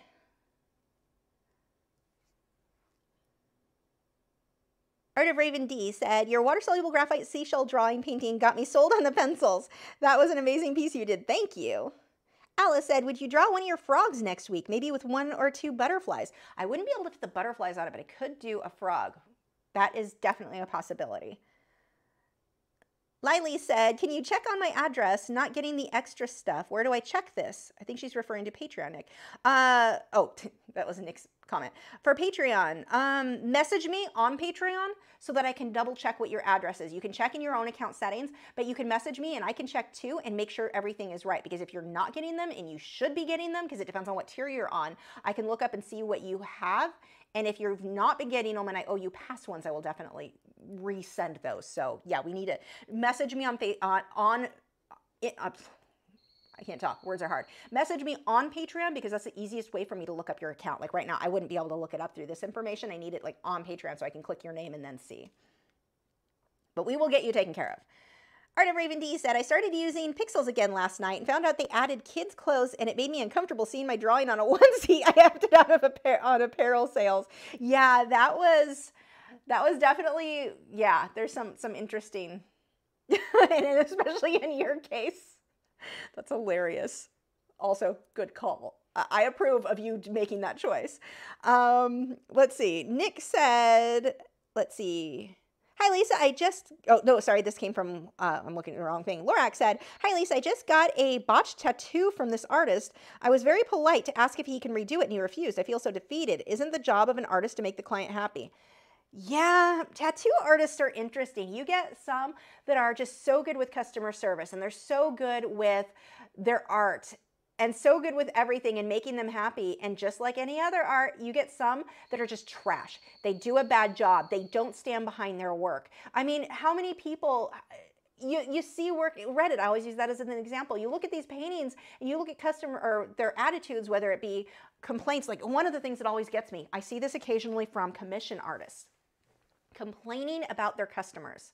One, never complain about your customers or clients online ever, even if you're justified, because it makes you look bad no matter what. Now, you may say, Lisa, I've heard you say I don't know why I have to talk to myself in third person like that. But I, you know, I have said, I, I have complained or commented on problem customers or clients I've had with commissions because I don't take them anymore. So I kind of consider myself out of that so I can share some of my experience with you guys as a learning thing. But as far as like your average drama of, oh, this customer this client's making me so mad, they did this, they did that, never, ever, ever do that. That is bad customer service. That makes you look so bad, even if you're completely in the right. But I have seen this with artists where they're complaining about the client because they want their work done and blah, blah, blah. And it's like, yeah, you told them you'd be done two weeks ago. They don't care that your car broke down, that you broke your toe, that this, that, that you keep having these continuous excuses. They paid for something, you gave them a deadline. If you can't fit your deadline or if there's even a chance, you always, always overshoot on the deadline, by the way, if you take commissions. I always will tell somebody it's gonna take an extra couple of weeks, an extra month. And if you're early, great but don't don't yeah it, you, you got to give yourself some some wiggle room there because the client is going to be very mad when you gave them think of when you've hired somebody to come do something let's say someone to come fix plumbing or whatever and they don't show up how mad are you? It is no different than art. You may think it's not different but it is because if they bought that as a gift for somebody i say this as somebody who never ships stuff on time but if they bought that as a gift they have the right to be mad at me 100% that is on me, and I better make it up to them. I'm to send them a free painting. I, have done that when I was like a week overdue. Um, you're to get some extras, but you artists they're like any other customer service. Some are just going to be trash, and it sounds like the the tattoo artist you're dealing with is one of those that are just trash. I wouldn't even try to have them fix it at this point. They did a bad job in the first place. You think they're going to make it better?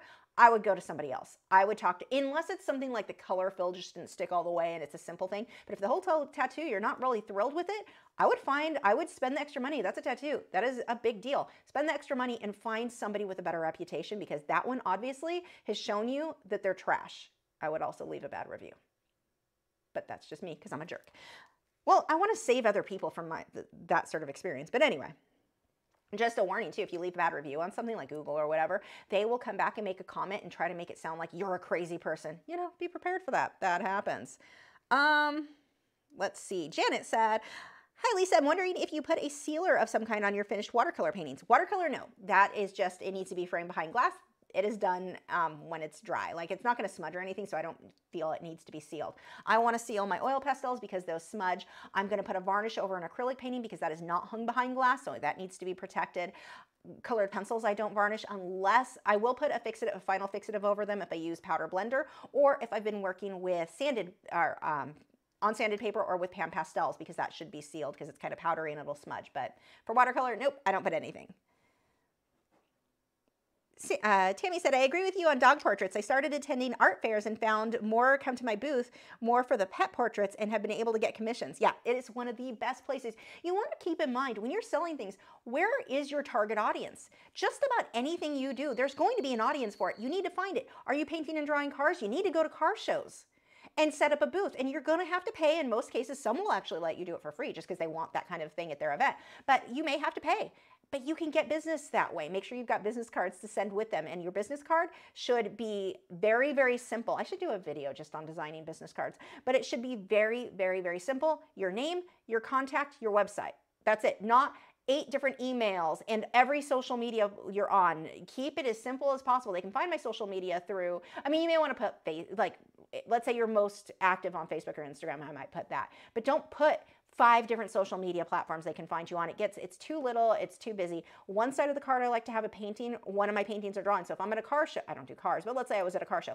I want a car. I want something that they're going to be impressed with. With Aquashella, I've got a marine painting and that is what I hand out to people so they remember who I was and the other side will have my information. Just basic information as ideal. Let's see. Dolphin Soul said, what is the main difference in choosing between the Liquitex Heavy Body and Basic? So the Heavy Body, it's thick, like really thick, chunky, and it dries super fast. Like it's so annoying to paint with because it dries fast. Great when you're painting with a palette knife, and that's what I would choose the heavy body for is painting with a palette knife. The it's way more pigmented and it's way thicker. Whereas the Liquitex Basics, it takes longer to dry. I can blend and mix and it'll stay like on my palette, will stay wet there for a decent amount of time where less than half that amount of time, my heavy body is already dried. So it's a lot more difficult to work with because of that dry time. But again, if you're working with a palette knife, you're doing thick, chunky paint, the heavy body is what you want to go with. Second vote for the frog. Okay, next week is a frog. Two votes. That I'm counting is good. But if you have other ideas, let me know too, because I've got, you know, we do this every week. I need to write this down. No, I'll, I'll remember. This is written in here. I'll remember. Um, let's see. Starting Artist Collective said my vote for a cat. I have two. Okay, so we are going to have to have a cat soon too. And then another one, Karen, Cat Whisperer. Uh, Joseph, cat, cat, cat. Vote from each of mine. LOL. What is this? What is, um, excuse you. It has been a while though. Do you feel sad and lonely and hungry? Am I starving you? Okay, fine. I'll give you a quick treat. I'm rewarding them for bad behavior. Apparently now cat, cat, cat means treat. But I mean, I can't just send them away. Okay, there you go. Thank you, Wade, for the goobers. Okay, go lay down. That's it. That's it. That's your only time of telling me you, nope, nope, nope. Lay down. Keep going. I know, brother's in the way. Wade, down. Can you not lay down while you chew? Is that not going to work out? Go boys. Um, so yeah, we'll do a cat. So frog next week, cat the following week. Art by MB said for the babies. Okay, super chat time. It worked. Look at that. Thank you so much. Okay, you get an extra. You want extra? Okay, you're good boys. Thank you again for the slobber. You good boys. Just so sweet. That's all you get though. Go lay down. Go lay down. Lay down. Yeah, more comments for the cat. Sally wants a cat too. Okay, so I will, the cat will probably be, I'm thinking in charcoal. If we're gonna do long hair, it'll be a really good lesson for fur. Charcoal is one of the easiest method, ways for me to teach fur. But I'm thinking that will give us the best result. Thank you again, Art by MB. I think that will give us the, I just got goosebumps over, I can't say the word because they'll know Um, because um, they speak English or artist. Uh, they speak YouTuber is what they speak. Uh, let's see, I would go for a hissing cockroach. I'm not going to paint that on people. Uh, for the Madagascar was my first trip out of the U.S. Speaking of, I just bought a bunch of dubias because that's one of the things I feed my baby dragon. So I keep them in my home, but those aren't the same kind at all. Also, not happening, said fat greyhounds. Boys, you want a super chat? Both their heads just popped up. They're like, uh, you, you, are you serious? Are you really going to give us another? Thank you, not happening. You want fat greyhounds? What the heck? Do you hear that? They're trying to make you fat. Say, mom never feeds us. These good boys. They don't get treats all day long or anything. Go lay down. Good boys. Down, down, down. They're like, no, we'll just stay here. We'll just wait here for more. That's all we're going to do. Gibson. Good boy. Slowest racing dogs ever. Uh, one of my friends had commented about greyhounds are thinking they'd be too active. I'm like, oh gosh, no, they're 45 pound, or what is it, 45 mile per hour couch potatoes. So yeah, they are not an active breed, except for YouTube treats. Oh, that's a good way to word it, YouTube treats. They don't know that word yet. Uh, let's see. Dolphin Soul said, love to learn how to do palm fronds tropical leaves. What, what medium, Dolphin Soul? I can definitely do that. That actually makes, palm trees are really good for live streams because they're super, super easy. So just let me know what medium you're looking for. Actually, I am gonna have to start writing these down because you guys are giving me a lot of good ideas. Do I have a pen anywhere over here? You'd think as an artist, I would have a writing utensil somewhere. I have a bunch of white charcoal pencils. That is not helpful at all. Oh, wait, is this? I have a pen. Okay, so we've got frog, then we're gonna do a cat, and we're not gonna do a cockroach because no one will like ever come and watch my videos again. Um, let's see. And then we have palm trees.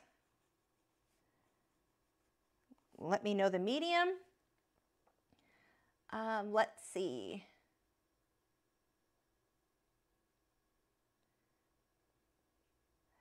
Sonic the Hedgehog said, do they watch Westminster Dog Show? No, not this time. I don't have TV. I used to watch it myself all the time because I used to show dogs.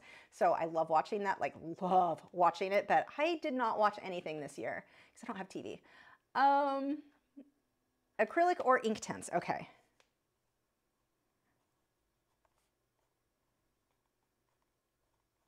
I might do ink. I'm thinking Inktense just because I've done acrylic palm trees. We'll see. We'll see what I, I come up with. Um, we want, Not Happening wants a palm tree acrylic sunset. So we'll do both. We'll do another one, just the acrylic sunset.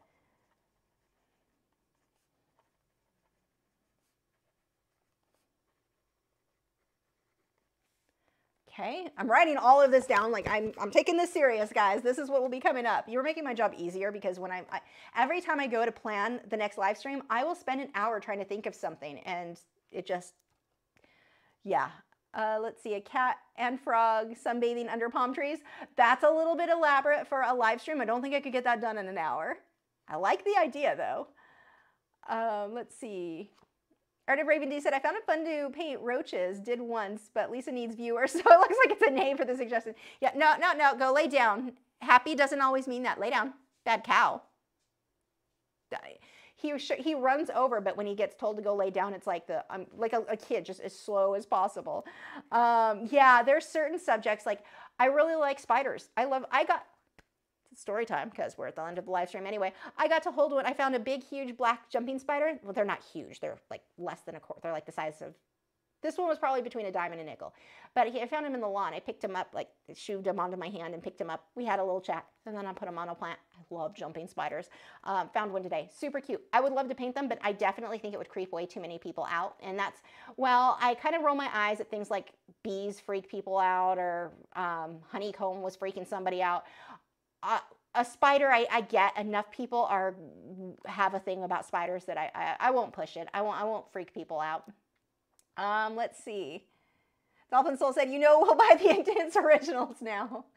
Um, a seahorse. I could definitely do a seahorse on one of these. I like it. You guys have got great ideas. This is helpful to me.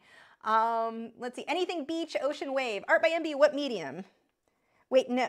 I think actually for an ocean or wave, that would probably need to be acrylics just to get it done in time. Never mind. You're stuck with acrylics. I could probably do yeah. Oh, and somebody said seahorse, like the seahorse. Um, let's see. I want a color uh, blue tarantula. They're beautiful. Yeah, they're, I, the pink toes. I really like the pink toes. I've thought about it, but I'm like, I really don't need more critters to take. Like I have so many animals and it gets to where like a large portion of my day is just caring for my zoo and I love them, but you also get to a point where you're not enjoying them because you're just spending so much time on maintenance. Um, let's see, seahorse, yeah, seahorse is definitely coming. Art by MB said, I have two jumping spiders, Vanilla and Ember. Aw, I love them so much. The one, it was a bold or a daring, um, it's same one, same common names that I found today. He was so cute. Me and my husband sit there talking to, uh, him when we see him outside. We're like poking at, not poking, but like using our fingers like, hi, trying to talk. We're such dorks. Um, maybe a starfish. That's actually good. You guys like all the, you're going for all the summer stuff. Although, I mean, it's Dolphin Soul, so of course. Um, you, acrylic, okay, good, art by MB. So that's what yours, that will be for sure because it's easier. A crab, I think I could probably, I don't know if I could get it done in a live stream though. I really wanted to do like a purple pincher crab, a hermit crab. Any hermit crab, I think they're so cute, but it's, that's a lot of work for a live stream. I'm not, I don't think I could get it done. Too many legs. Manatee I could do. Seriously, this is my list for the next several weeks. I'm just going to go down the road. This is, I love you guys right now. I mean, I love you all the time, but uh, extra right now because you're doing my job. A horse at sea wearing water wings. um, let's see, starfish, lots of different kinds. Love to see mixed media pieces. I can do that. Flamingo. I can do a flamingo if it's more stylized. What? Flamingo? Flamingo. Pretend you know how to spell, Lisa. Um, watercolor jellyfish.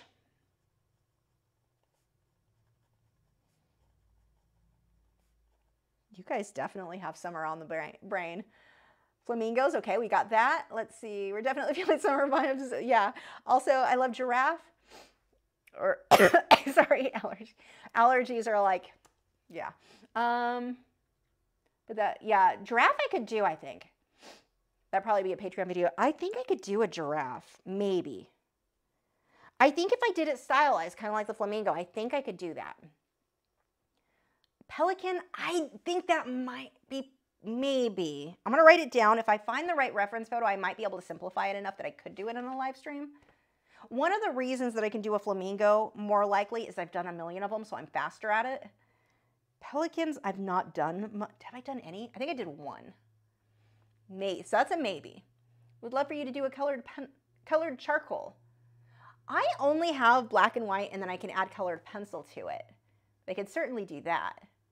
What about a, what? Verticular pencils? I don't know what that is. Second, the flamingo, so we've got a lot of that. Watercolor. Oh, that's what, it, what watercolor pencil. Yeah, you know what? I've not done watercolor pencils in a while, so let's add that. Um, tufted, tuft puffin in acrylic, tufted puff, puffin.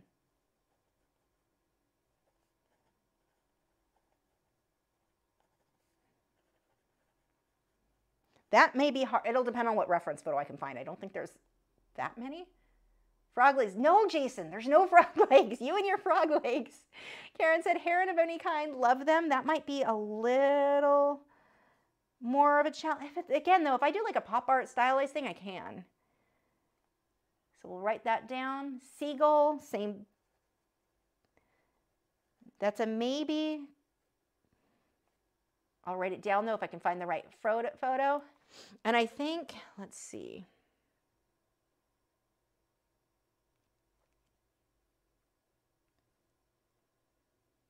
Yeah, I don't think there's any bids. At least I'm not getting notifications for the um, painting. So you've still got, if you want to bid on this for $65, it's an 8 by 10 acrylic. That is over on my website. If anyone is interested, link is in the video description.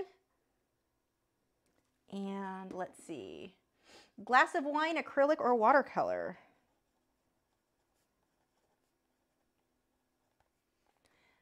Got that written down. Spoonbill versus a flamingo.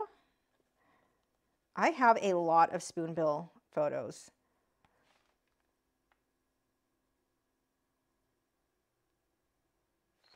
A, a, flag for the 4th of July, maybe.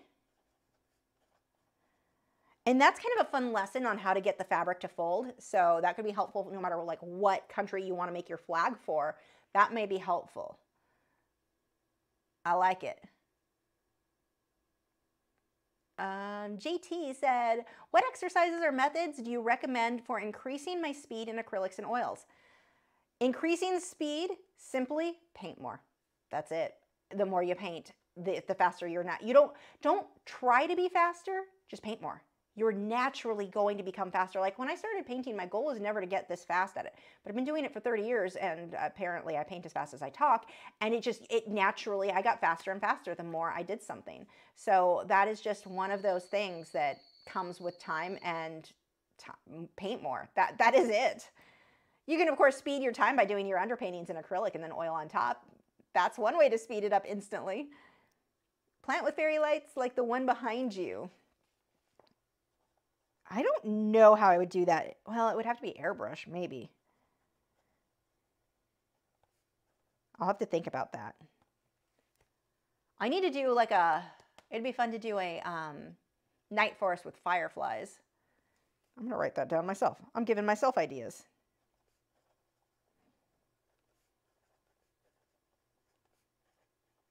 I can show you one firefly without an airbrush and then do the rest with the airbrush to speed it along. Um, let's see. Lots of people like Alice's suggestion. Okay, well, I'll have to figure out how to do that, like how to get a good reference photo to make that a painting. Um, let's see. Dolphin Soul said, on your shell painting, you said it's a smooth canvas, but it looks bumpy in the on the blue. Is it just me? Um, I don't. I think it's just you. I mean, I don't see any bumps. I mean, the sand, but that's just sand. But in the blue, no, I'm not seeing it. Actually, you know what? I want to do one more thing on this that I forgot about that I had wanted to do. We are going to add one last step to this. Move all my stuff below. I totally forgot I wanted some blue highlights. We're going to do just a quick, while we finish this up, Starving Artist Collective said, I was spoiled for Mother's Day with a box set of Derwent Lightfast pencils, so now I'm interested in any of the above subjects with the Derwent Lightfast. Nice. Congratulations. That is awesome. Would love to know how to do out of focus background, all the circles in different colors. So you know what? We could, yeah, maybe a bokeh background and then the next week do the subject, a subject on it. That is a possibility. Does anyone know where to see fireflies in real life? I've always wanted to see them and I never did. My old apartment was really cool. We had a like a creek that ran behind it and you could go back there in the nights in June, in July, I think.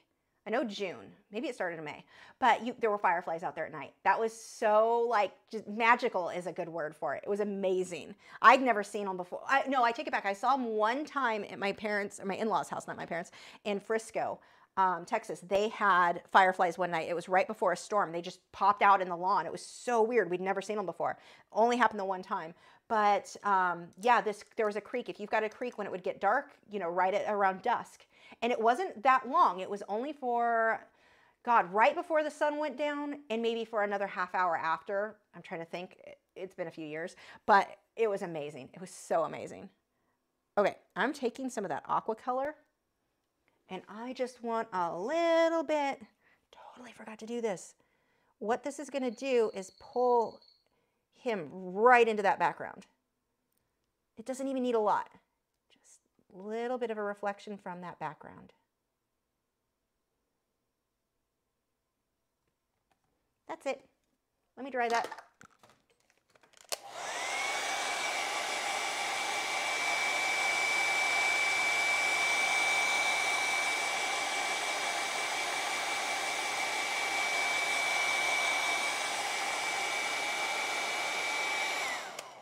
And it's the exact same color I used from the water. I'm not introducing any new colors. Just that little, little bit of extra. You got a critical error on the website. Tried to bid. Ugh. Try refreshing it. Sometimes that works. I don't know how to fix it. I don't know why that happens sometimes. Um, if that doesn't work, message me after and I'll just make you a separate listing. The website heard Lisa regarding to keep it on her wall. I guess, yeah, I guess so. Um, wow, that's annoying. Yeah, if it doesn't get any bids, I mean, I can't do anything about it if somebody does manage to bid because when I've had the critical errors, it's not for everybody. And so I don't know why, I don't know how to fix it. And if it doesn't sell, then message me. Um, that's not it. That is not my website. Yeah, okay, there is a bid that came through, so that won't work um, from, it doesn't tell me who it was. Somebody bid. Okay, you got it. Thank God. Okay, then I don't feel bad because it's bad. It's not like I can just say, okay, I'll take. I'd have to take down the listing so somebody else didn't. It was a. It's a whole thing, and I don't know why that happens.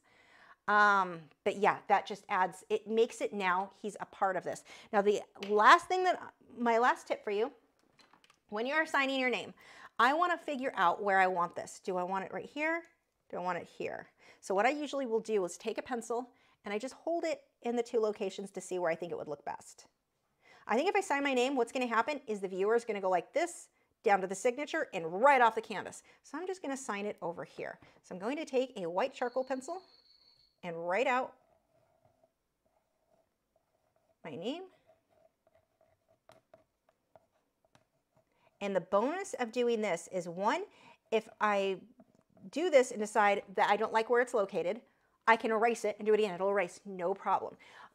The other thing is sometimes people have a hard time with the paintbrush making their signature look like their name. So here I wrote it with a pencil. It's very easy to do. We've got sirens. We'll wait for that to pass. There it goes. Okay, so I'm going to take my liner brush and I'm just going to do this with white. I don't want the signature, actually I'll do it with a little bit of the blue too. I don't want the signature to be super bold, super dark. I wouldn't sign it with black. Like I want the signature to be there, but I don't want it to be like pay attention to me. It shouldn't be your main focus. I've seen people where they'll take like red and always sign their signature with red, and it's like, that's an interesting choice. So let's go ahead and sign it. And now, as I sign this, a little bit more water here. Got to make sure to thin that paint out so it'll actually write. I do, I can lift the brush wherever I need to, because you can't move it in one loop-de-loop. -loop. But I can do one line, lift it, do the next, lift it. And it looks exactly like my signature would when I'm handwriting it because I'm just tracing over what is already there. But I like, I'm liking this color because you can definitely see the signature without like, it's not drawing attention away from the shell, but it's still there. And then of course I do the year. That's optional. Not everyone does that. I was going to stop signing the year on my paintings, and then 2020, the whole everything happened, and it was like, well, that's all. That's going to be an interesting time in history. I'm leaving the the signature uh, or the date on those. This you can't hardly see. I'm going to add a little bit of white. I'll go over it when it's dry. You get the idea. And then whenever I do anything ocean related, which this seashell is, I'm going to do a little teeny dolphin tail at the end of the H. So that is it. That is my tip for signing. There we go. Okay, we are at 10 o'clock. We are done. Auction should be over now. It should say it's over, but it didn't because apparently my stuff isn't set up right. Anyway, actually, let me double check that because if I need to end that really quick because I put the wrong time, which is sometimes possible. Why do I keep trying to do lisa.com? That sounds like a scary place to go. Lachri.com. You know your website. Use it. Um, did that end? Yes, it did end. $65. You got such a good deal because this painting is awesome and $65. Like, good job good goodbye there. And thank you for for bidding. Um, yay. Anyway, thank you guys for joining. Make sure to check out our moderators' channels. They are all linked in the video description. They help so much. They help keep spam out of the chat. They actually, Nick writes down all of your questions throughout the, th the entire live stream that I'm painting and then sends it all to me at the end. Like they do so much. So definitely check out their channels. And thank you guys so much for watching. Next week we'll be painting a frog. I will be at Aquashella on Saturday at noon on stage painting or drawing something. Don't know what I'm doing there yet either. Um, is that it? I don't know. I always forget important things. I think that's it.